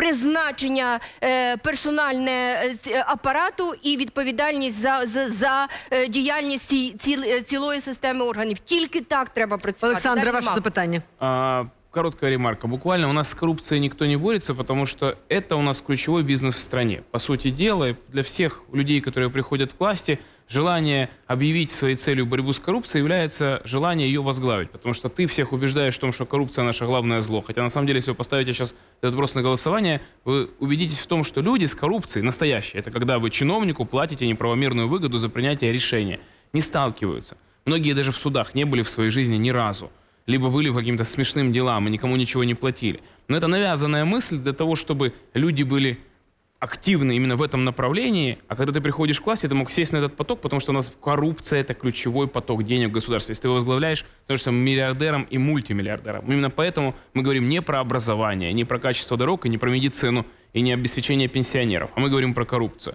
Но если уже говорить про коррупцию, да, то давайте ответим на простой вопрос. Я вас попрошу ответить и Марину, и Юрия. Вот то, что сейчас происходит с избирательной кампанией господина Порошенко, то, что сейчас вот публикуются десятки и сотни видео, как раздаются деньги по тысяче гривен, то ли за соцопросы, то ли за сбор подписей за ЕС и НАТО, то ли э, в качестве материальной помощи социально незащищенным слоям населения просто прошу оказать мне материальную помощь, а обязуюсь поддерживать курс Порошенко в ЕС и НАТО, тысяча гривен за это платится. А является ли это политической коррупцией? Является ли это нарушением финансирования партии избирательного процесса? Кто должен расследовать? Является ли это преступлением? Кто должен его расследовать и как? Вот это самое Дякую. интересное. Короткі відповіді, і тоді йдемо далі. Це безумовно злочин. Це найтяжчий злочин, тому що це замах на демократію. А замах на демократію це означає е, ніколи не отримати країну, в якій є боротьба з корупцією, в якій є боротьба з злочинами. І скажу вам більше, ви запитуєте, коли? Чи, чи можливо взагалі зробити так, щоб ніхто не використовував цю систему? Можливо. Можливо, тоді, коли ми з вами зруйнуємо монополію в економіці, що пані Марина так згадала частково, монополію в економіці не всі види монопольної діяльності, які сьогодні існують, коли ми зруйнуємо монополію на формування влади і будемо голосувати не один раз в п'ять років, а так як в Швейцарії, принаймні кілька разів на рік по загальнодержавних питаннях і кілька разів на місяць по питаннях, які стосуються громад, коли ми зруйнуємо з вами монополію на ЗМІ, коли інтернет буде доступний, і коли ми будемо розуміти, що інформація не тільки через канали телебачення підконтрольні нам мозки промиває, а коли розуміти будемо, що це вільна інформація і вільна комунікація, коли буде судова система так побудована. Що суддя, який двічі прийняв рішення скасоване Європейським судом з прав людини, автоматично втрачає свою посаду. Автоматично. Тобто суддя, якого двічі, двічі в рік від, від Європейський суд з прав людини скасував рішення, такий суддя має втратити свою посаду. Тоді він буде керуватися практикою Європейського суду з прав людини, конституцією, законами України, а не телефонним правом і не грошима. Тоді будуть захищатись інтереси українців в судах, а це стосується інвестицій, це стосується грошей, це стосується захисту всіх наших прав і свобод. Це ключова річ, яка коли ми говоримо про боротьбу з корупцією. І головне закон про імпічмент. І можливість абсолютно притягнути до відповідальності будь-якого президента, будь-якого кандидата, будь-якого відповідаю абсолютно конкретно і коротко на ваше питання. Е, З точки зору виборчого законодавства, це є порушення виборчого законодавства. З точки зору кримінального права, є це все, що ви перерахували, є підкупом виборців. Е, на сьогоднішній день це кримінальні злочини, які розслідуються Міністерством внутрішніх справ України. От завтра проведе з'їзд Народний фронт України. Вони вже там визначаться з кандидатом, хто у них буде кандидатом. І нарешті тоді пан Аваков, я думаю, після своїх гучних заяв, після підписаного меморандуму з Центральною виборчою комісією про те, що Міністерство внутрішніх справ України буде негайно під час виборчого процесу реагувати на відповідні порушення. На ці порушення відкриє очі Центральна виборча комісія. Міністерство внутрішніх справ і зі всіма випадками, які є е, в частині порушення правил ведення передвиборної агітації підкупу виборців, має наступити відповідна відповідальність. Все є для того, Вы щоб это, це вы в это було верите, что розвідано. это произойдет? Дякую, Марина Івановна. Далі слово резонерам. Прошу. Юрій Михайловичишин, починаємо з ва- з вас. Товариство, у нас тут такий консенсус сформувався своєрідний, що в принципі опонувати сьогодні немає кому в цій студії з цього питання. Всі говорять, в принципі, правильно абсолютно речі і в правильному руслі. Але я хотів би нагадати, що 2-3 роки тому було не так. В 2014-му, в 2015 році аплодисменти тут зривали зовсім інші люди. Люди, які раніше ніде ні- не були помічені в жодних успіхах на антикорупційній ниві, які взагалі невідомо звідки взялися, які раніше не були помічені ні в успішному керівництві, хоча б одним підприємством, установою чи організацією, які самі себе оголосили активістами, антикорупціонерами, вдягнули якісь картаті сорочечки, повідрощували такі бороди специфічні, почали швендіти на прийоми в різні посольства, стали народними депутатами після майдану і почали нам писати антикорупційні закони. Написали нам закон про люстрацію, написали нам закон про набу, написали нам інші чудові нормативно-правові акти. А в підсумку сьогодні вони ж вже говорять про те, що не спрацьовує у нас боротьба з корупцією, не дієві антикорупційні органи, там вимито ядро професіоналів і так далі, і тому подібне. А в мене запитання: а чи не було це свідомою диверсією і відволіканням нашої з вами уваги? Коли у нас був ключовий період нашої державності, був масовий ентузіазм людей після майдану. У нас тривала російсько-українська війна. Люди були сконцентровані, згуртовані, готові потерпіти в ім'я великих змін. Зміни не прийшли. Ці всі прекрасні люди сьогодні розбігаються по різних політичних партіях, підтримують різних кандидатів в президенти, імітують з себе великих борців проти олігархічної диктатури, яку вони, до речі, абсолютно допомагали будувати після майдану. А в підсумку маємо що? Тут мені згадується радянська історія. Ще в радянські часи тут люди е, присутні, які то пам'ятають, була така бавовняна справа в Узбекистані. Пригадуєте, боротьба з корупцією там в 70-х-80-х роках. Там такі слідчі були. Іванов і Гдлян піднялись на цій справі. Чотири тисячі людей там закрили. Була масова така кампанія по боротьбі з корупцією. Потім виявилося, що ще проти них самих порушили справу за корупційні діяння проти цих слідчих. А самі вони стали депутатами Верховної Ради СРСР. Нічого не нагадує, правда? Так от Радянський Союз розвалився не через те, що там не було боротьби з корупцією, а через те, що там була імітація боротьби з корупцією. От і нас ведуть по тому самому шляху. На жаль. Дякую, Юрій. Е, Макс Бужанський. Друзья мои, в нашей стране у нас парламентская президентская республика. Главный парламент. Президент, у которого нет большинства, уважаемая Марина может рассказать про Виктора Андреевича, мягко говоря, невлиятельный. И коррупция у нас растет от парламента вниз. Вот представьте себе картину. Наш генеральный прокурор Юрий Витальевич Луценко приходит вечером домой. И сейчас допью чая и буду бороться с коррупцией. А его супруга, уважаемая Ирина, не знаю отчества, вон там сидела, Луценко, представитель президента в парламенте, народный депутат большинства, говорит, ну начинай. Как думаете, какие у него шансы? Вы ее видели? Женщина активна. Никаких. Все взаимосвязано.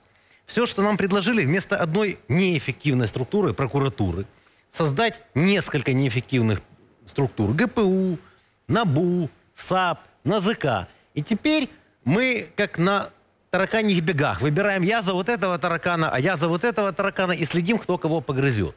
Никогда оно таким образом не будет работать.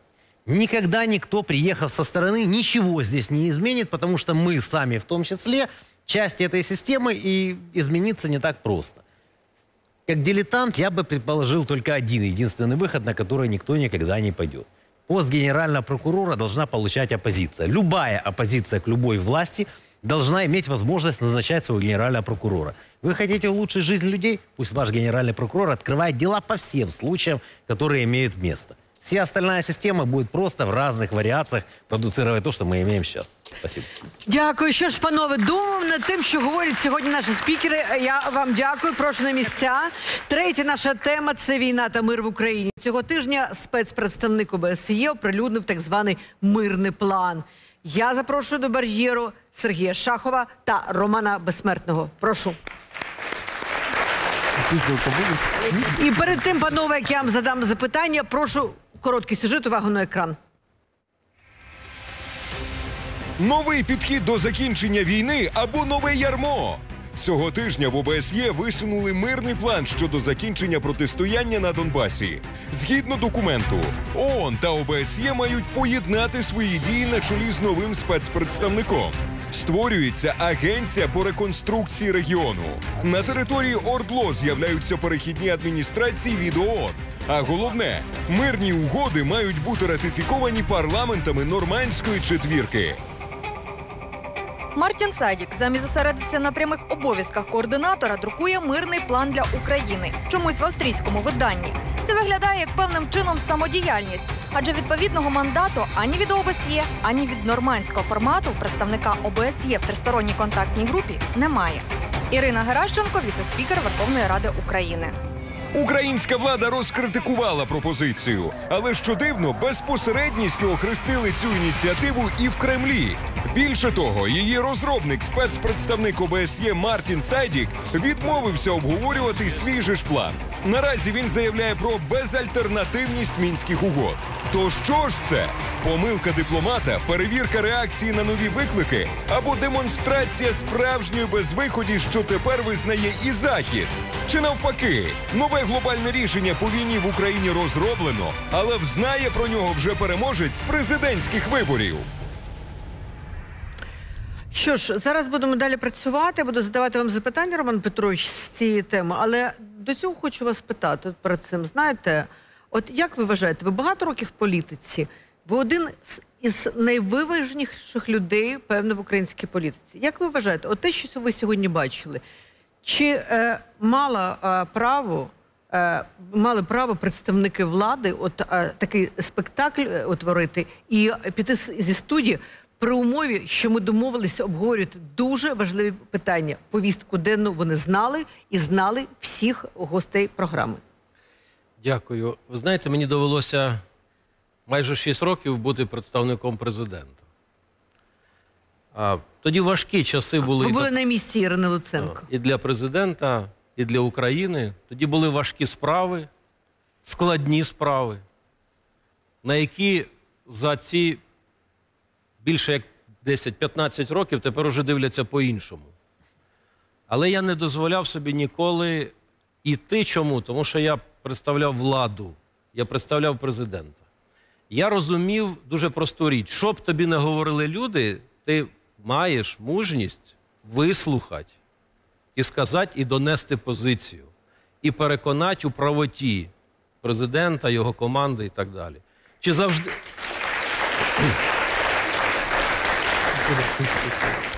Чи завжди це, це вдавалося? Не завжди, тому що ви розумієте прекрасно, а, іноді ти мусиш говорити по питаннях, якими ти фахово глибоко не володієш. Але а, що треба робити? Як би важко не було, треба йти на спілкування з людьми. Я вам хочу привести зараз всім такий приклад. Ви знаєте, що зараз у Франції йде вже кілька місяців виступ жовтих жилетів. До 15 квітня президент Франції Макрон об'їжджає департаменти. Це районні центри по типу наші, де зустрічається кожного дня 300, 350, 400 виборців. Якщо ви захочете побачити, які розмови там ведуться, то це дитячі, дитячі ці діаложки. От там ведуться бої. Тому не треба боятися людей, що б вон- і як б вони жорстоко не говорили. Дякую, Романе Петровичу. А тепер, е, перед тим як я задам запитання, от дуже короткий сюжет, увага на екран. Не буде ніяких миротворчих контингентів, бо досвід застосування миротворчих контингентів в Придністров'ї в інших заморожених конфліктах привів до того, якраз що держава втрачає суверенітет над цією територією. На території України жодних миротворчих контингентів не буде. Крапка. Це було сказано у 2014 році. Як ви думаєте, чому сьогодні президент а, поміняв позицію? Чому вже а, ну він не говорить про суверенітет, якщо Україна наполегливо просить і ООН, і ОБСЄ про контингент, щоб зараз його завести? І чи потрібен, до речі, цей контингент? Це до вас вже як, як до кандидата, я питаю. А, перше, давайте я спробую вам зараз відповісти на питання, все-таки, чому пан Мартін Сайдік проговорився. Проговорився таки. Да, бо е, я думаю, що е, ми зараз бігаємо навколо питання, не розуміємо, звідки вітер подув.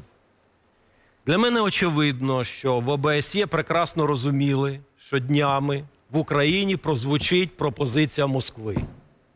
І ця пропозиція на з'їзді прозвучала відомої політичної сили, озвучена як автономізація регіонів. Ви чули це? Конечно. Очевидно, що ОБСЄ, яка дуже добре проінформовано, знали про це. І тому, а перед тим, як запобігти, це була висунута альтернативна пропозиція. Де і ким вона розроблялася, чи вона впала з неба? Згадайте зовсім недавно заяву польського міністра закордонних справ, що в ситуацію має втрутитися представник генерального секретаря ООН. Ця позиція співпала з тим, що сказав Садік. Де вона обговорювалася? Ще в грудні, листопаді минулого року, спочатку на зустрічі політдиректорів, а потім міністрів закордонних справ, фрагменти, які прозвучали в інтерв'ю пана Сайдіка, обговорювалися як можливі варіанти можливих, скажімо, документів і так далі. Тому те, що сказав Мартін Сайдік, не є чимось тим, що народилося випадково і тільки устами Мартіна Сайдіка. Тобто ці речі пророблялися, аналізувалися і так далі. Тому ось якби квінтесенція. Де тут проблема? Та проблема в тому, що українська влада за цей час в принципі, не виробила своєї пропозиції. Ось де проблема. І вийшло так: Москва свою позицію має, ОБСЄ має, причому відповіла на цілий ряд питань, на які ніхто не хотів відповідати. А українська влада якби залишилася. Дякую. Завжди. До вас запитання. А, панове експерт, ви будете мати змогу задасти, задасти запитання. До вас, е, Сергію, запитання. Як ви бачили в сюжеті, Україна прохолодно сприйняла заяву а, пана Сайдика, що новий план врегулювання конфлікту на Донбасі має замінити мінські домовленості. Да? А от спецпредставник держдепартаменту Курт Волкер позитивно оцінив цей план. Чи свідчить це про неузгодженість позицій України та США? Не, просто що немає позиції, а неузгодженість в цьому питанні. І якщо так, то чи зможемо ми собі дозволити це е, при тому, що повністю спираємося на підтримку США? З одного боку, ми начебто співпрацюємо, ми начебто консультуємося постійно, а узгодженої позиції не маємо. Що це все означає? Коли ми зустрічалися е, парламентарями з Куртом Волкером, обговорювали питання миру на Донбасі, вирішення цього конфлікту. Я чув позитивні речі, наприклад, підтримки України. Я вважаю, щоб хто би не підтримав нас сьогодні ззовні, ми повинні сьогодні е, цю підтримку е, брати до уваги. Як мої батьки говорили, дають бери, б'ють біжи. Але ми повинні, от я також погоджуюся з колегою, що сьогодні в нашій країні всередині є ті, хто не хочуть вирішувати питання. До Мартіна Сайдіка, всередині політики, хочуть, щоб війна продовжувалася. Тому що через цю політику йде пограбування нашої держави. І не мільйонів, а мільярдів з нарощування цих бородавок на тілі України, з антикорупційних органів, які також не повертають по 5 тисяч доларів в рік, а грабують мільярдами на їх заробітні плати, на розширювання бюрократичного апарату. Треба вирішувати питання саме тут, будувати, розбудовувати державу, повертати українців з-за кордону, давати можливість побудувати дороги, мости, які стоять он в Києві по 18 років, а їх не відбудували, або в Запоріжжі через Дніпро стоять і на цих мостах по мільярдам ворують. І тільки таким чином, показавши і ЛНРу, і ДНРу, і Криму, що тут живеться найкраще, ми 30 повернемо ці території. А якщо нам дає Америка допомогу фінансову, то і ми повинні контролювати кожну копійку, щоб вона не розсосалася по кишенях чиновників, щоб вони грабували ті антикорупційні органи або Генеральні прокуратури, або ще хтось небудь. Саме залежить від українського народу, від волонтерів, які на своєму хребті винесли економічний тягар цієї війни. Ніхто з чиновників, які протирають своєю дупою крісла сьогодні, вони вважають, що їх допустили до влади або Верховну Раду, або в якісь ще е, 30 секунд ще. хто-небудь е, з міністрів, які сьогодні з валізами тікали і в Америку, і в Канаду, і так далі, грабувавши Україну. На сьогодні я буду говорити відверто і чесно, як я вважаю це. Ну, ми на те і В даний розраховуємо. момент, поки не, з- немає ніякої корупційної машини, є вбивство українців через цю корупцію. Вбивство. І це лежить на кожному політику, який сьогодні е, не працює проти сьогодні тих чиновників, які сидять в кабінетах і грабують. І допустили до кабінетів, вони вважають, що їм подарували ці крісла і видумали 10 секунд і елексир все. молодості. Ніякого елексира молодості не буде. Поки ми не змінимо самі країну, ніхто її не змінить. Е, Пані Стевенчук, дуже коротко хочу вас питати. Росія неодноразово заявляла, зараз ви запитаєте всі, пан Дерев'янко, всі запитають. Неодноразово заявляла, що не є учасником мінських домовленостей і не має відношення до збройного конфлікту на Донбасі. Я не помиляюся, так? Чи є взагалі сенс приймати якісь плани з мирного регулювання, якщо той, хто розв'язав цю війну, а зокрема Російська Федерація, не є стороною переговорного процесу? Це як? Пані Наталя, давайте е, уточнимо все-таки ситуацію. Росія є учасником е, мінського переговорного процесу. Е, декларацію, коли був ухвалений комплекс, офіційно ні. комплекс хвилинку, декларацію, от в лютому 15-го року. Е, згадаємо зустріч пані Меркель, пан Путін, пан Порошенко і е, хто з ними Оланд. тоді ще Просто Оланд Оланд. тоді ще був. Всі вони є авторами декларації. Було в мінську 2 е, було два документи: меморандум, який підписали, який оголосили президенти, підтримали мов, мовчазною згодою. Всі вони стояли. І комплекс заходів, який в принципі був завізований уже е, іншого рангу людьми. Він дійсно не, не був підписаний президентами. Тому Росія не каже, що вона не є учасник переговорного процесу. Росія практично у всіх форматах, і в мінську, і в нормандському форматі, і в пропонованому Женевському е, форматі. Вона є. Росія стверджує, що вона не є агресором, і що в Україні громадянський конфлікт, і що вона з нами не воює. Ось в чому проблема. Але абсолютно зрозуміло, що Росія буде сідати за стіл переговорів щодо врегулювання ситуації в Україні. От ви показали 14-й рік. А я вам а я вам скажу, що впродовж грудня 14-го і лютого 15-го року у президента Порошенка було три позиції щодо необхідності. А спочатку, взагалі, категорично ні, нам не потрібна миротворча місія ООН. Потім він сказав, що нам потрібна поліцейська місія ОБСЄ. Потім він сказав, що нам потрібна таки е, місія ООН, не сказав яка. І ми з 14-го року до теперішнього часу спостерігаємо одне відсутність чіткої обґрунтованої позиції від української влади щодо врегулювання Дякую. ситуації в Україні. Дякую. Панове експерти, ваше запитання до спікерів. Прошу. Прошу, Юрій. Пані Наталі, я хочу прошу вибачення, але тут е, ви мене титрували як позафракційного народного депутата Рух нових сил. Я є е, позафракційний народний депутат, обраний від політичної партії Воля і зараз член політичної партії Воля і висунутий кандидат в президенти і зареєстрований від політичної партії Воля. Я прошу вибачення, але це У вас це- є вже новий титр, так. е, От, будь це ласка. істотно уточний. Це- Ми це- Але я хочу задати зараз Питання. питання двом нашим, двом нашим е, спікерам. Е, я хотів би запитати у обох, чи не вважаєте ви, що свого часу, коли підписувалися ці мінські угоди, я не говорю про декларацію, я говорю про саме угоду, ту частину. Мінські угоди Е, складаються з двох документів. я говорю про другий. Я говорю про, Питання я говорю про другий документ, де якраз є сформульовані зобов'язання сторін, в яких стороною є ЛНР, представники ЛНР, ДНР, і в яких немає сторони Росія. Це перше.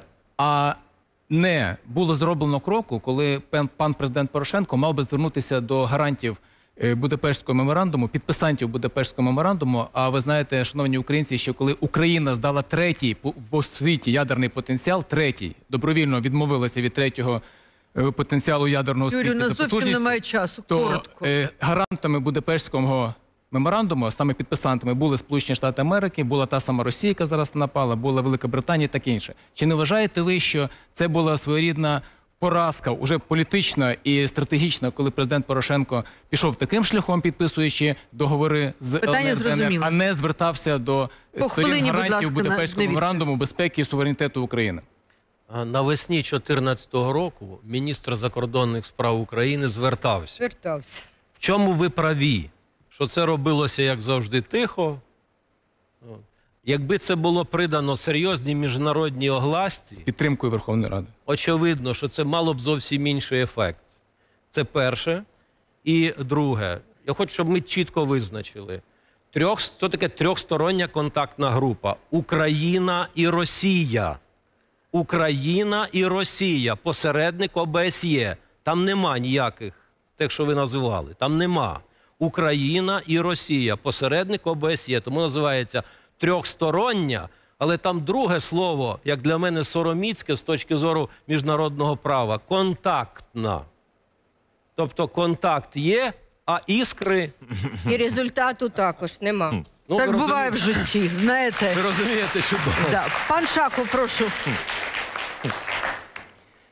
Ні на мій погляд, а на моє переконання, мінські домовленості себе взагалі вижили. Хай вони будуть називатися лондонські, американські, вашингтонські.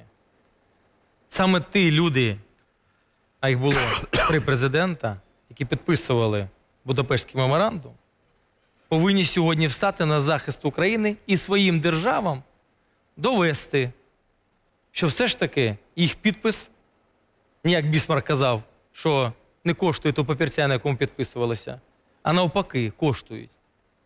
І дали захист Україні, той, який вони обіцяли. Тому що Україна позбавилася ядерного потенціалу, ми були могутніми, сильними. Третій ядерний потенціал в світі в Україні був.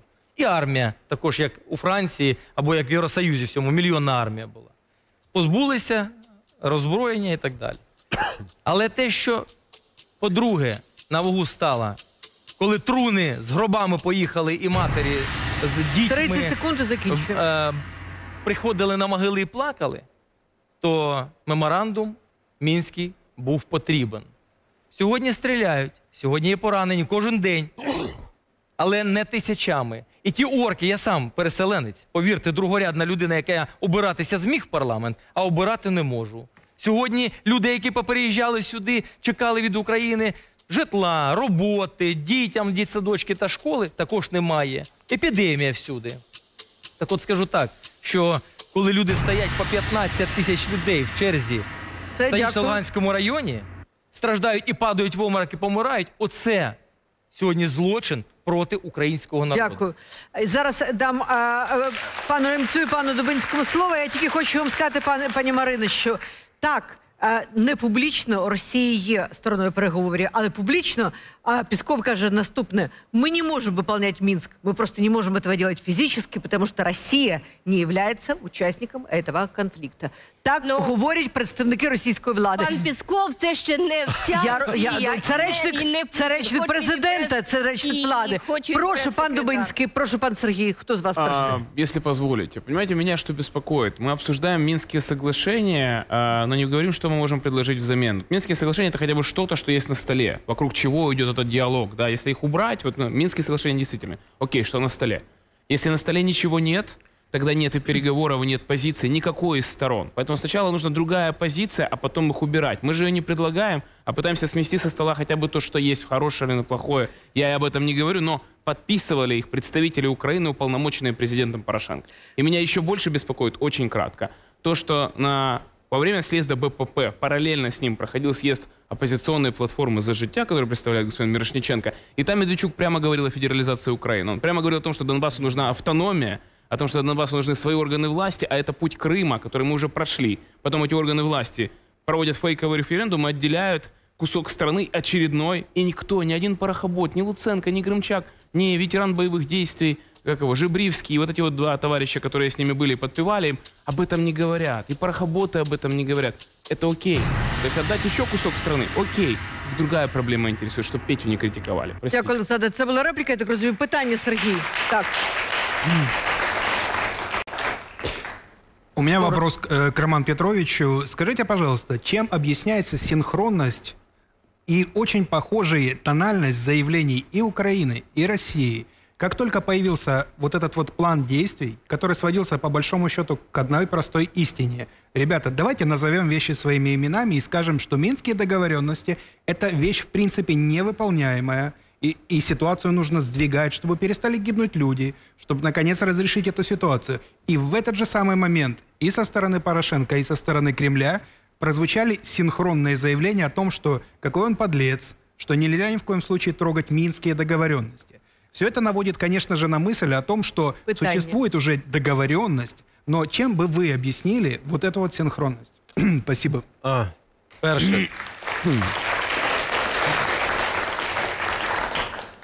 Перше, абсолютно правильно, що період озвучення ініціатив обраний апріорі такий, щоб їх просто завалити. В будь-якому змісті.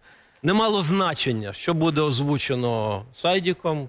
Мало значення, що в умовах, коли з одного боку прозвучало, що я з ним говорити не буду, другий сказав, що він просто ворог. Очевидно, що все це в смітник піде. Але треба розуміти, що у цей смітник пішли насправді ре- речі істинного характеру. Насправді, з того, що прозвучало, є азбука міжнародних відносин, договорної бази, і насправді, от що відбувається зараз? Зараз беруть і на смітник викидають усе міжнародне право, яке регулювало питання вирішення конфліктів і так далі. Мене це турбує в першу чергу. Чому? Тому що це не тільки закриє зараз можливість до йти дорогою вирішення проблеми, це далі стріляє на тупік по Азовському морі. Там взагалі буде поставлено бар'єр. Звідси, 30 секунд. звідси е, можна пред'явити претензію тим, хто озвучив це, але в першу чергу треба пред'явити претензію керівнику президенту України за те, що за ці роки, не дивлячись на те, що озвучали неодноразові пропозиції, розроблялися авторські проекти, насправді цілісного бачення і документу до цього часу немає. Хоча би зверніть увагу на те, що вже і міністри навіть пишуть авторські проекти. Я вже не кажу там народні депутати і так далі, але цілісного бачення немає. Дякую. Дякую, панове резонери, прошу дуже коротко, тому що у нас вже час просто. Прошу, е, е, Макс Бужанський. Понимаете, к сожалению, пока мы рассуждаем о том, что как хорошо было бы нам с ядерным оружием, или как было бы неплохо, если бы действовал Будапештский меморандум, э, мы не обращаем внимания на то, каким образом меняется тональность э, наших международных, назовем это так, партнеров, разговаривающих о ситуации в нашей стране. Вот пока что звучит фраза э, «ситуация в Донбассе». А пройдет еще немножко времени, и вы увидите, если все будет таким же образом происходить, будет звучать фраза «ситуация в Украине». То есть мы целиком будем представлять для них одну большую проблему, и им будет неинтересно, что у нас внутренняя проблема, а не вся общая. Речь сейчас идет о предложениях, которые посторонние государства и структуры выдвигают в отношении решения проблемы Донбасса. Э, Мы их не принимаем. Нас не устраивает одно, часто по справедливым совершенно причинам. Но э, обратите внимание на то, что акцент давным-давно сместился, и мы больше не инициаторы ничего. То есть пока что нам предлагают вещи, которые нам не подходят. Вот Минское соглашение, которое мы подписали, но не выполняем. Вот предложение Сайдека и так далее.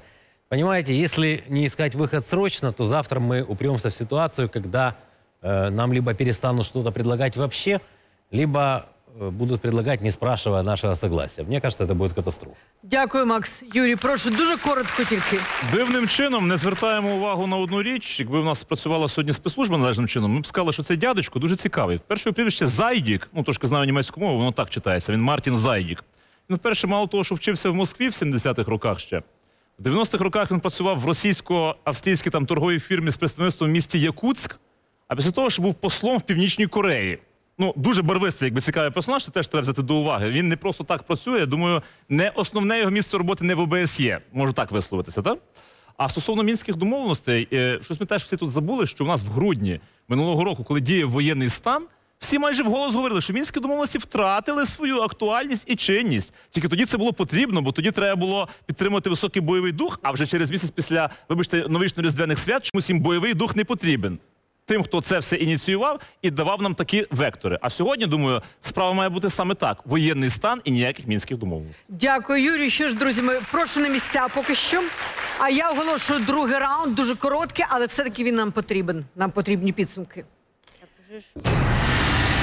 Нагадую, що тема сьогоднішньої програми за крок до виборів. Корупція живе, військові вмирають. У першому раунді, ну враховуючи особливості сьогоднішнього ефіру, да, у першому раунді ми зараз рахували прямо на колінці, хто отримав найбільшу підтримку за всю програму. І я сюди хочу для дуже короткого батлу запросити Марину Стемнічук та Сергія Шахова ще раз. Прошу. Швиденько, швиденько. Що ви там дивитесь в телефоні, пан Шахов? У нас дуже мало часу, панове, тому дуже короткі коротко. відповіді. Да, запитання до вас, е, пане Сергію. Ви народний депутат і представляєте Донбас. Тому питання до вас. 16 вересня 2014 року Верховна Рада проголосувала за закон про недопущення переслідування та покарання усіх учасників подій на території Донецької та Луганської областей, внесений президентом Порошенко як невідкладний тоді. Цим законом, зокрема, закривалися усі кримінальні впровадження щодо дій проросійських бойовиків, якщо не було встановлено особу, що скоїла злочин. Цей закон поширювався і на тих, хто збив малазійський боїнг. Але пройшло понад 4 роки. а Президент донині не підписав закон, який вніс як невідкладний. Що за ситуація з цим законом? Можливо, ви знаєте. Прошу.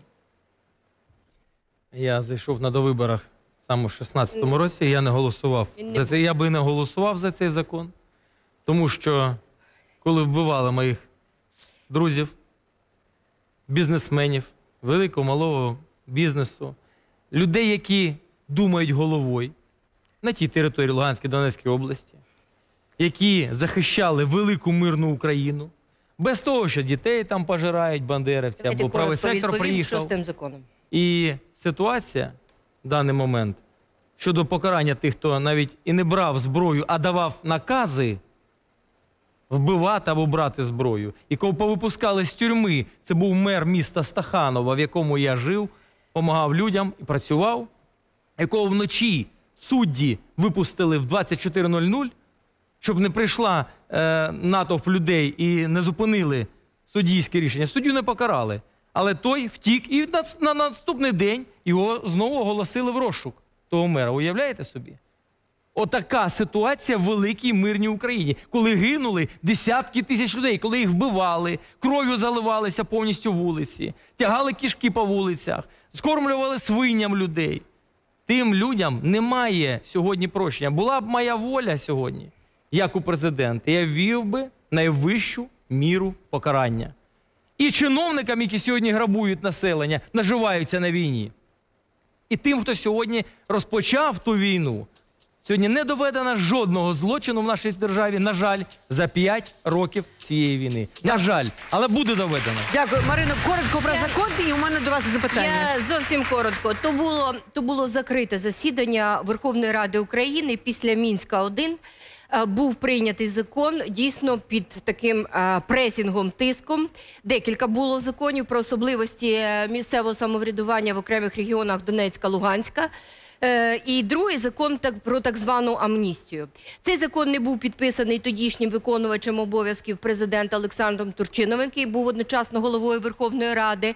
Це була е, попереднє скликання парламенту. Після того, коли воно припинило свою діяльність, закон канув літо. Такого закону більше немає. Але ви виступаєте чітко за виконанням мінських угод. Так я вам хочу сказати, що практично в такому ж дусі в мінські угоди мають відповідний пункт про безумовну амністію для всіх і вся.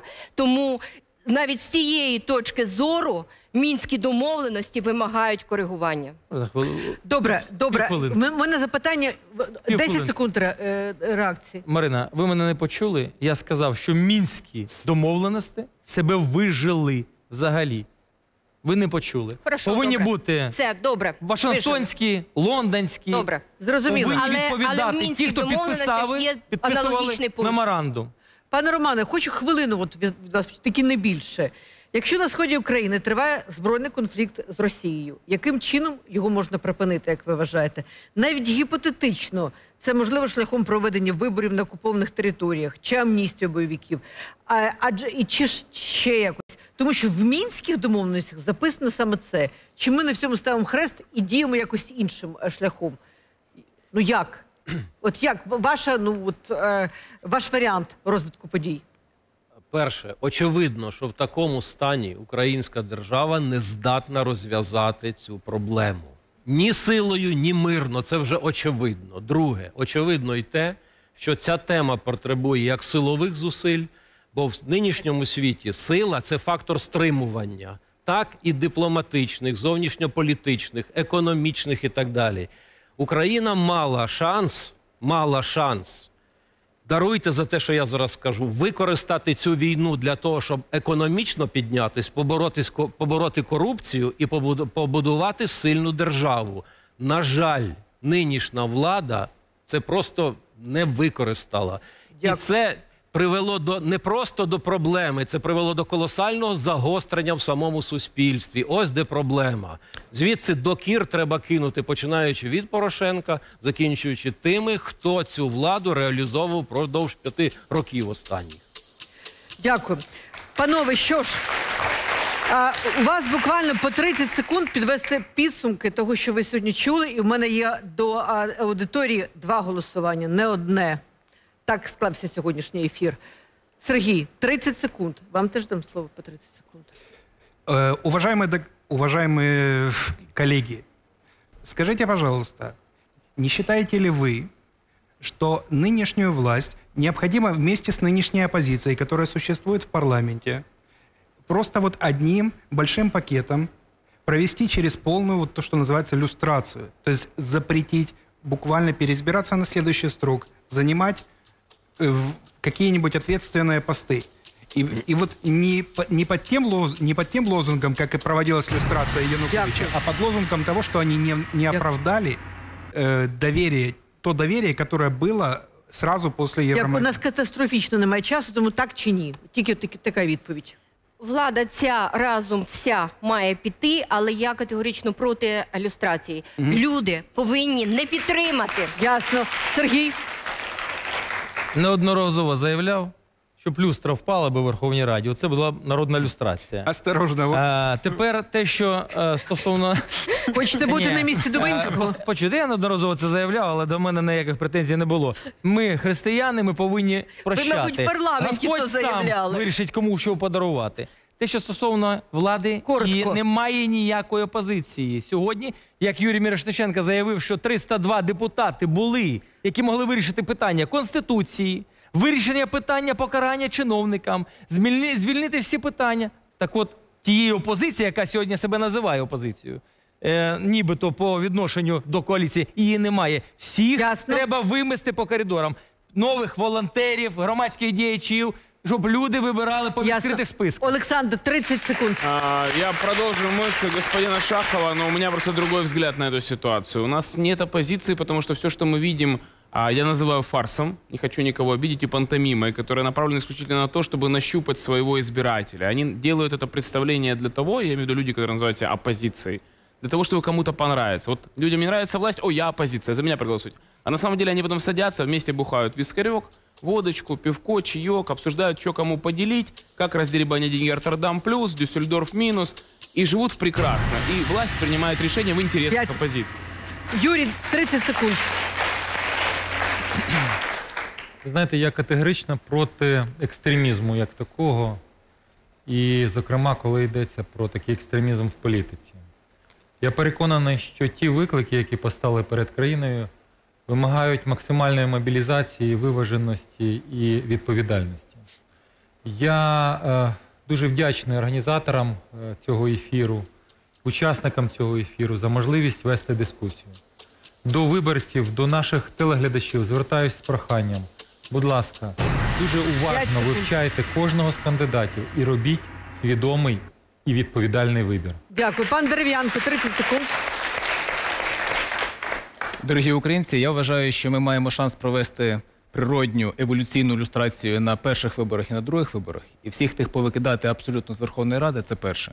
Але головне зробити так, щоб правила формування влади, правила формування і побудови економіки, політики і засобів масової інформації кардинально змінилися для будь-яких політиків, коли рано чи пізно там з'являться, щоб ми могли на них впливати, щоб ми могли мати нормальний суд, нормальну державу, щоб ми мали те суспільство, на яке ми заслуговуємо, і ту державу, яку ми хочемо мати. Дякую.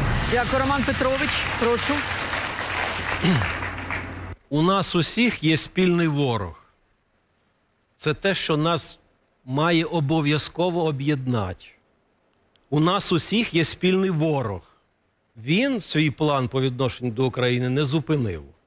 Тому нам треба бути єдиними людям, державі, владі. Друге, політиків.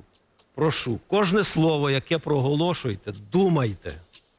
Людям Я до вас дуже прошу, коли ви чуєте подібні речі, критикуйте, висловлюйте свої думки, не мовчіть. Тоді ми і ворога побор- поборемо, і корупцію здолаємо, і економіку випустимо. Дякую, Романе Петровичу. Е, Сергію, прошу. 30 секунд на підсумок. Я звертаюся сьогодні до всіх українців. Як би там не було, е, воля народу залежить тільки від самого народу. І політики ви наймаєте на службу, які приходять всього-навсього на якийсь термін. Треба використовувати свою силу і повністю контролювати громадськими радами, громадськими діячами, я вже ще раз хочу сказати, волонтерами, цю владу, яку народ обирає. Приходьте на сесії міських рад, спілкуйтеся зі своїми народними депутатами, мажоритарниками, які до вас е, віч навіть зверталися в очі в очі. І головне, всі повинні прийти на вибори і віддати свій голос за майбутнє дітей і Це е, точно. нашої держави. Це точно підтримую. Всі мають прийти на вибори. Прошу, пані Марино. Ви знаєте, мені здається, що в любові, в житті і в державі треба об'єднуватись не проти когось, а треба об'єднуватись заради себе. Нам треба чітко розуміти, що ми одна країна, ми один народ. Нам треба чітко розуміти, що наше майбутнє в нашій єдності і в нашій соборності. Ключове питання питання миру. Я переконана, що ОБСЄ сьогодні вийшло з відповідними заявами не просто так, тому що чітко розуміють, в Україні буде зміна влади чітко розуміють, що мінські угоди як не працювали, так і не будуть працювати. Світ за відсутності пропозицій від України сьогодні дає варіанти. Роман Петрович, я і ви добре знаємо, що ці пропозиції, які обговорив, які озвучив Сайдік, не є новими і не є його. Європа, Америка і в тому числі Росія давно працює над питаннями зовнішньої адміністрації в тому регіоні, над питаннями місії і таке інше. Питання миру ключове для країни. У нас є шанс починати вирішувати його в наступному, в наступному році. Завершуючи, хочу сказати так само, як і всі, хто брав сьогодні участь у нашій передачі. Це не просто шоу. І не просто так сьогодні всі прийшли покликати, голосуйте за мене. Я не балотуюсь на пост президента, бо я не бачу можливості сьогодні чесних відкритих виборів в Україні, саме президентів. 10 секунд, Марино. Але я хочу, щоб ми не дали можливості всі разом сфальсифікувати вибори, сфальсифікувати результати, щоб ми об'єдналися. Дякую. Дякую. Прошу на місця. Зараз хочу звернутися до залу. У нас лишилося до фіналу 5 хвилин. і Маємо ще багато чого зробити. Знаєте, я завжди, коли веду це шоу, дивлюся на вас і відчуваю вашу енергію, і бачу ваші погляди. І для мене дуже важливо, як ви реагуєте, як ви слухаєте, як ви голосуєте. І сьогодні у нас відбулася непересічна подія. Сьогодні частина представників влади покинули е, цю аудиторію, а ну просто фактично влаштувавши провокацію. І я хочу вам задати запитання. І хо- і для мене дуже важливо, як ви зараз проголосуєте. Це перше наше голосування. А, скажіть, будь ласка, як ви вважаєте, чи мали моральне право представники влади залишити прямий ефір, не відповівши на жодне запитання виборців, оцих, які сидять в залі, вас і тих, які зараз нас дивляться? Прошу голосувати. Перше так, друге ні. Прошу голосувати.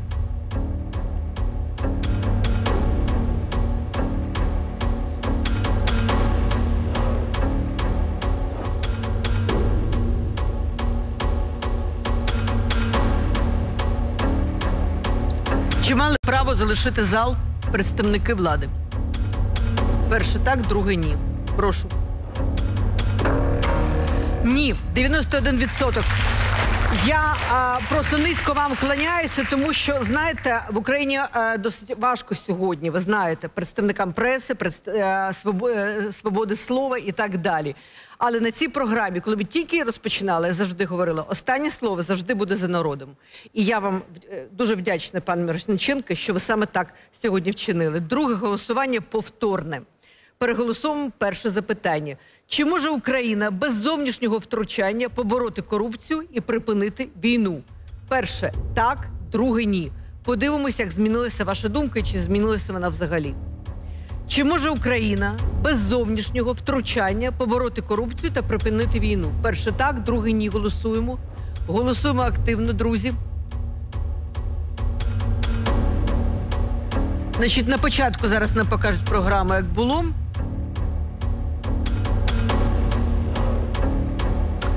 На початку програми ви проголосували. Зараз нам покажуть як. Було 62% ні, 38% так. Як наприкінці програми проголосували люди? Покажіть нам, будь ласка. Ні, 63%, 37 так. Ну, практично ваша позиція не змінилася. Я дуже вам дякую за ці два голосування. Ну і фінал слова резонерів. Прошу, Макс Бужанський. Я вижу здесь в студии очень много молодых людей, молодых ребят. Знаете, все социологи, политологи, журналисты пытаются нас убедить в том, что вы не придете на выборы, что вам не интересно, что вам все равно, что для вас это не имеет никакого значения. Я вас очень прошу, найдите полчаса времени и придите. Вот просто сделайте это. Мне абсолютно все равно, за кого вы проголосуете. Я не призываю вас голосовать за кого-то конкретного или не голосовать. Я вас просто очень прошу прийти. Я вижу здесь людей пожилого возраста. Я слышу рассказы про то, что вы, которые построили в этой стране абсолютно все своими руками, что вы мешаете, что вы не так голосуете, что вы всех тянете назад. Вы никого не тянете назад. Вы те, кто родил всех сегодняшних, кто построил все вокруг. Я и вас очень прошу, пожалуйста, придите и проголосуйте. Проголосуйте так, как хотите. Главное, чтобы вы пришли. Поймите правильно, если вы не придете сейчас, в следующий раз вас не пригласят. Посмотрите на них Они уже на грани. За этой гранью для вас нет ничего, а для них есть все. Не дайте лишить себя единственного вашего неотъемлемого права. Поменять власть, которая вас не устраивает, или подтвердить ее полномочия, если вы за нее. Просто придите туда. Я вас очень об этом прошу. Дякую. Пане Юрію, Фундаментальні проблеми, такі як виграти війну і здобути мир, не можна вирішити без двох не менш фундаментальних речей, цілком досяжних: це довіра і професіоналізм.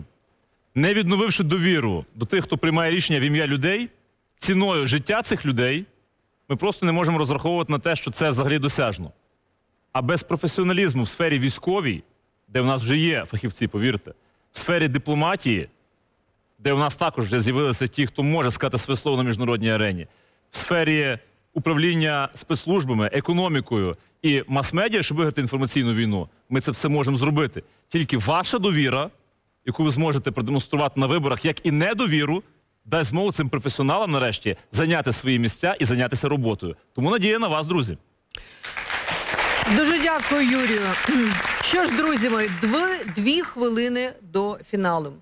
По-перше, я дуже дякую всім, хто сьогодні лишився в студії. Шановні друзі, мої вам оплески і прошу аудиторію поаплодувати. Подякуємо разом. Наступним хочу сказати, що ніхто і ніколи за жодних обставин не буде диктувати нашому каналу тих чи інших гостей, ті чи інші теми. Ми живемо не за Януковича, слава Богу, темники на- на нашому каналі не пройдуть. Лише ми, команда Зіку, будемо вирішувати і пропонувати нашому глядачу те, що його цікавить. Якщо наступного разу хтось захоче зірвати програму чи здійснити провокацію, нехай попередить таких гостей ми краще не будемо запрошувати. Я думаю, що в Україні дуже багато е, відповідальних політиків, відповідальних людей, які прийдуть сюди і розкажуть нашим глядачам правду. А я прощаюся до наступного разу і обіцяю зустріч наступної п'ятниці о 21.30. Ми розкажемо вам про те, що відбувається в країні насправді. Всім дякую.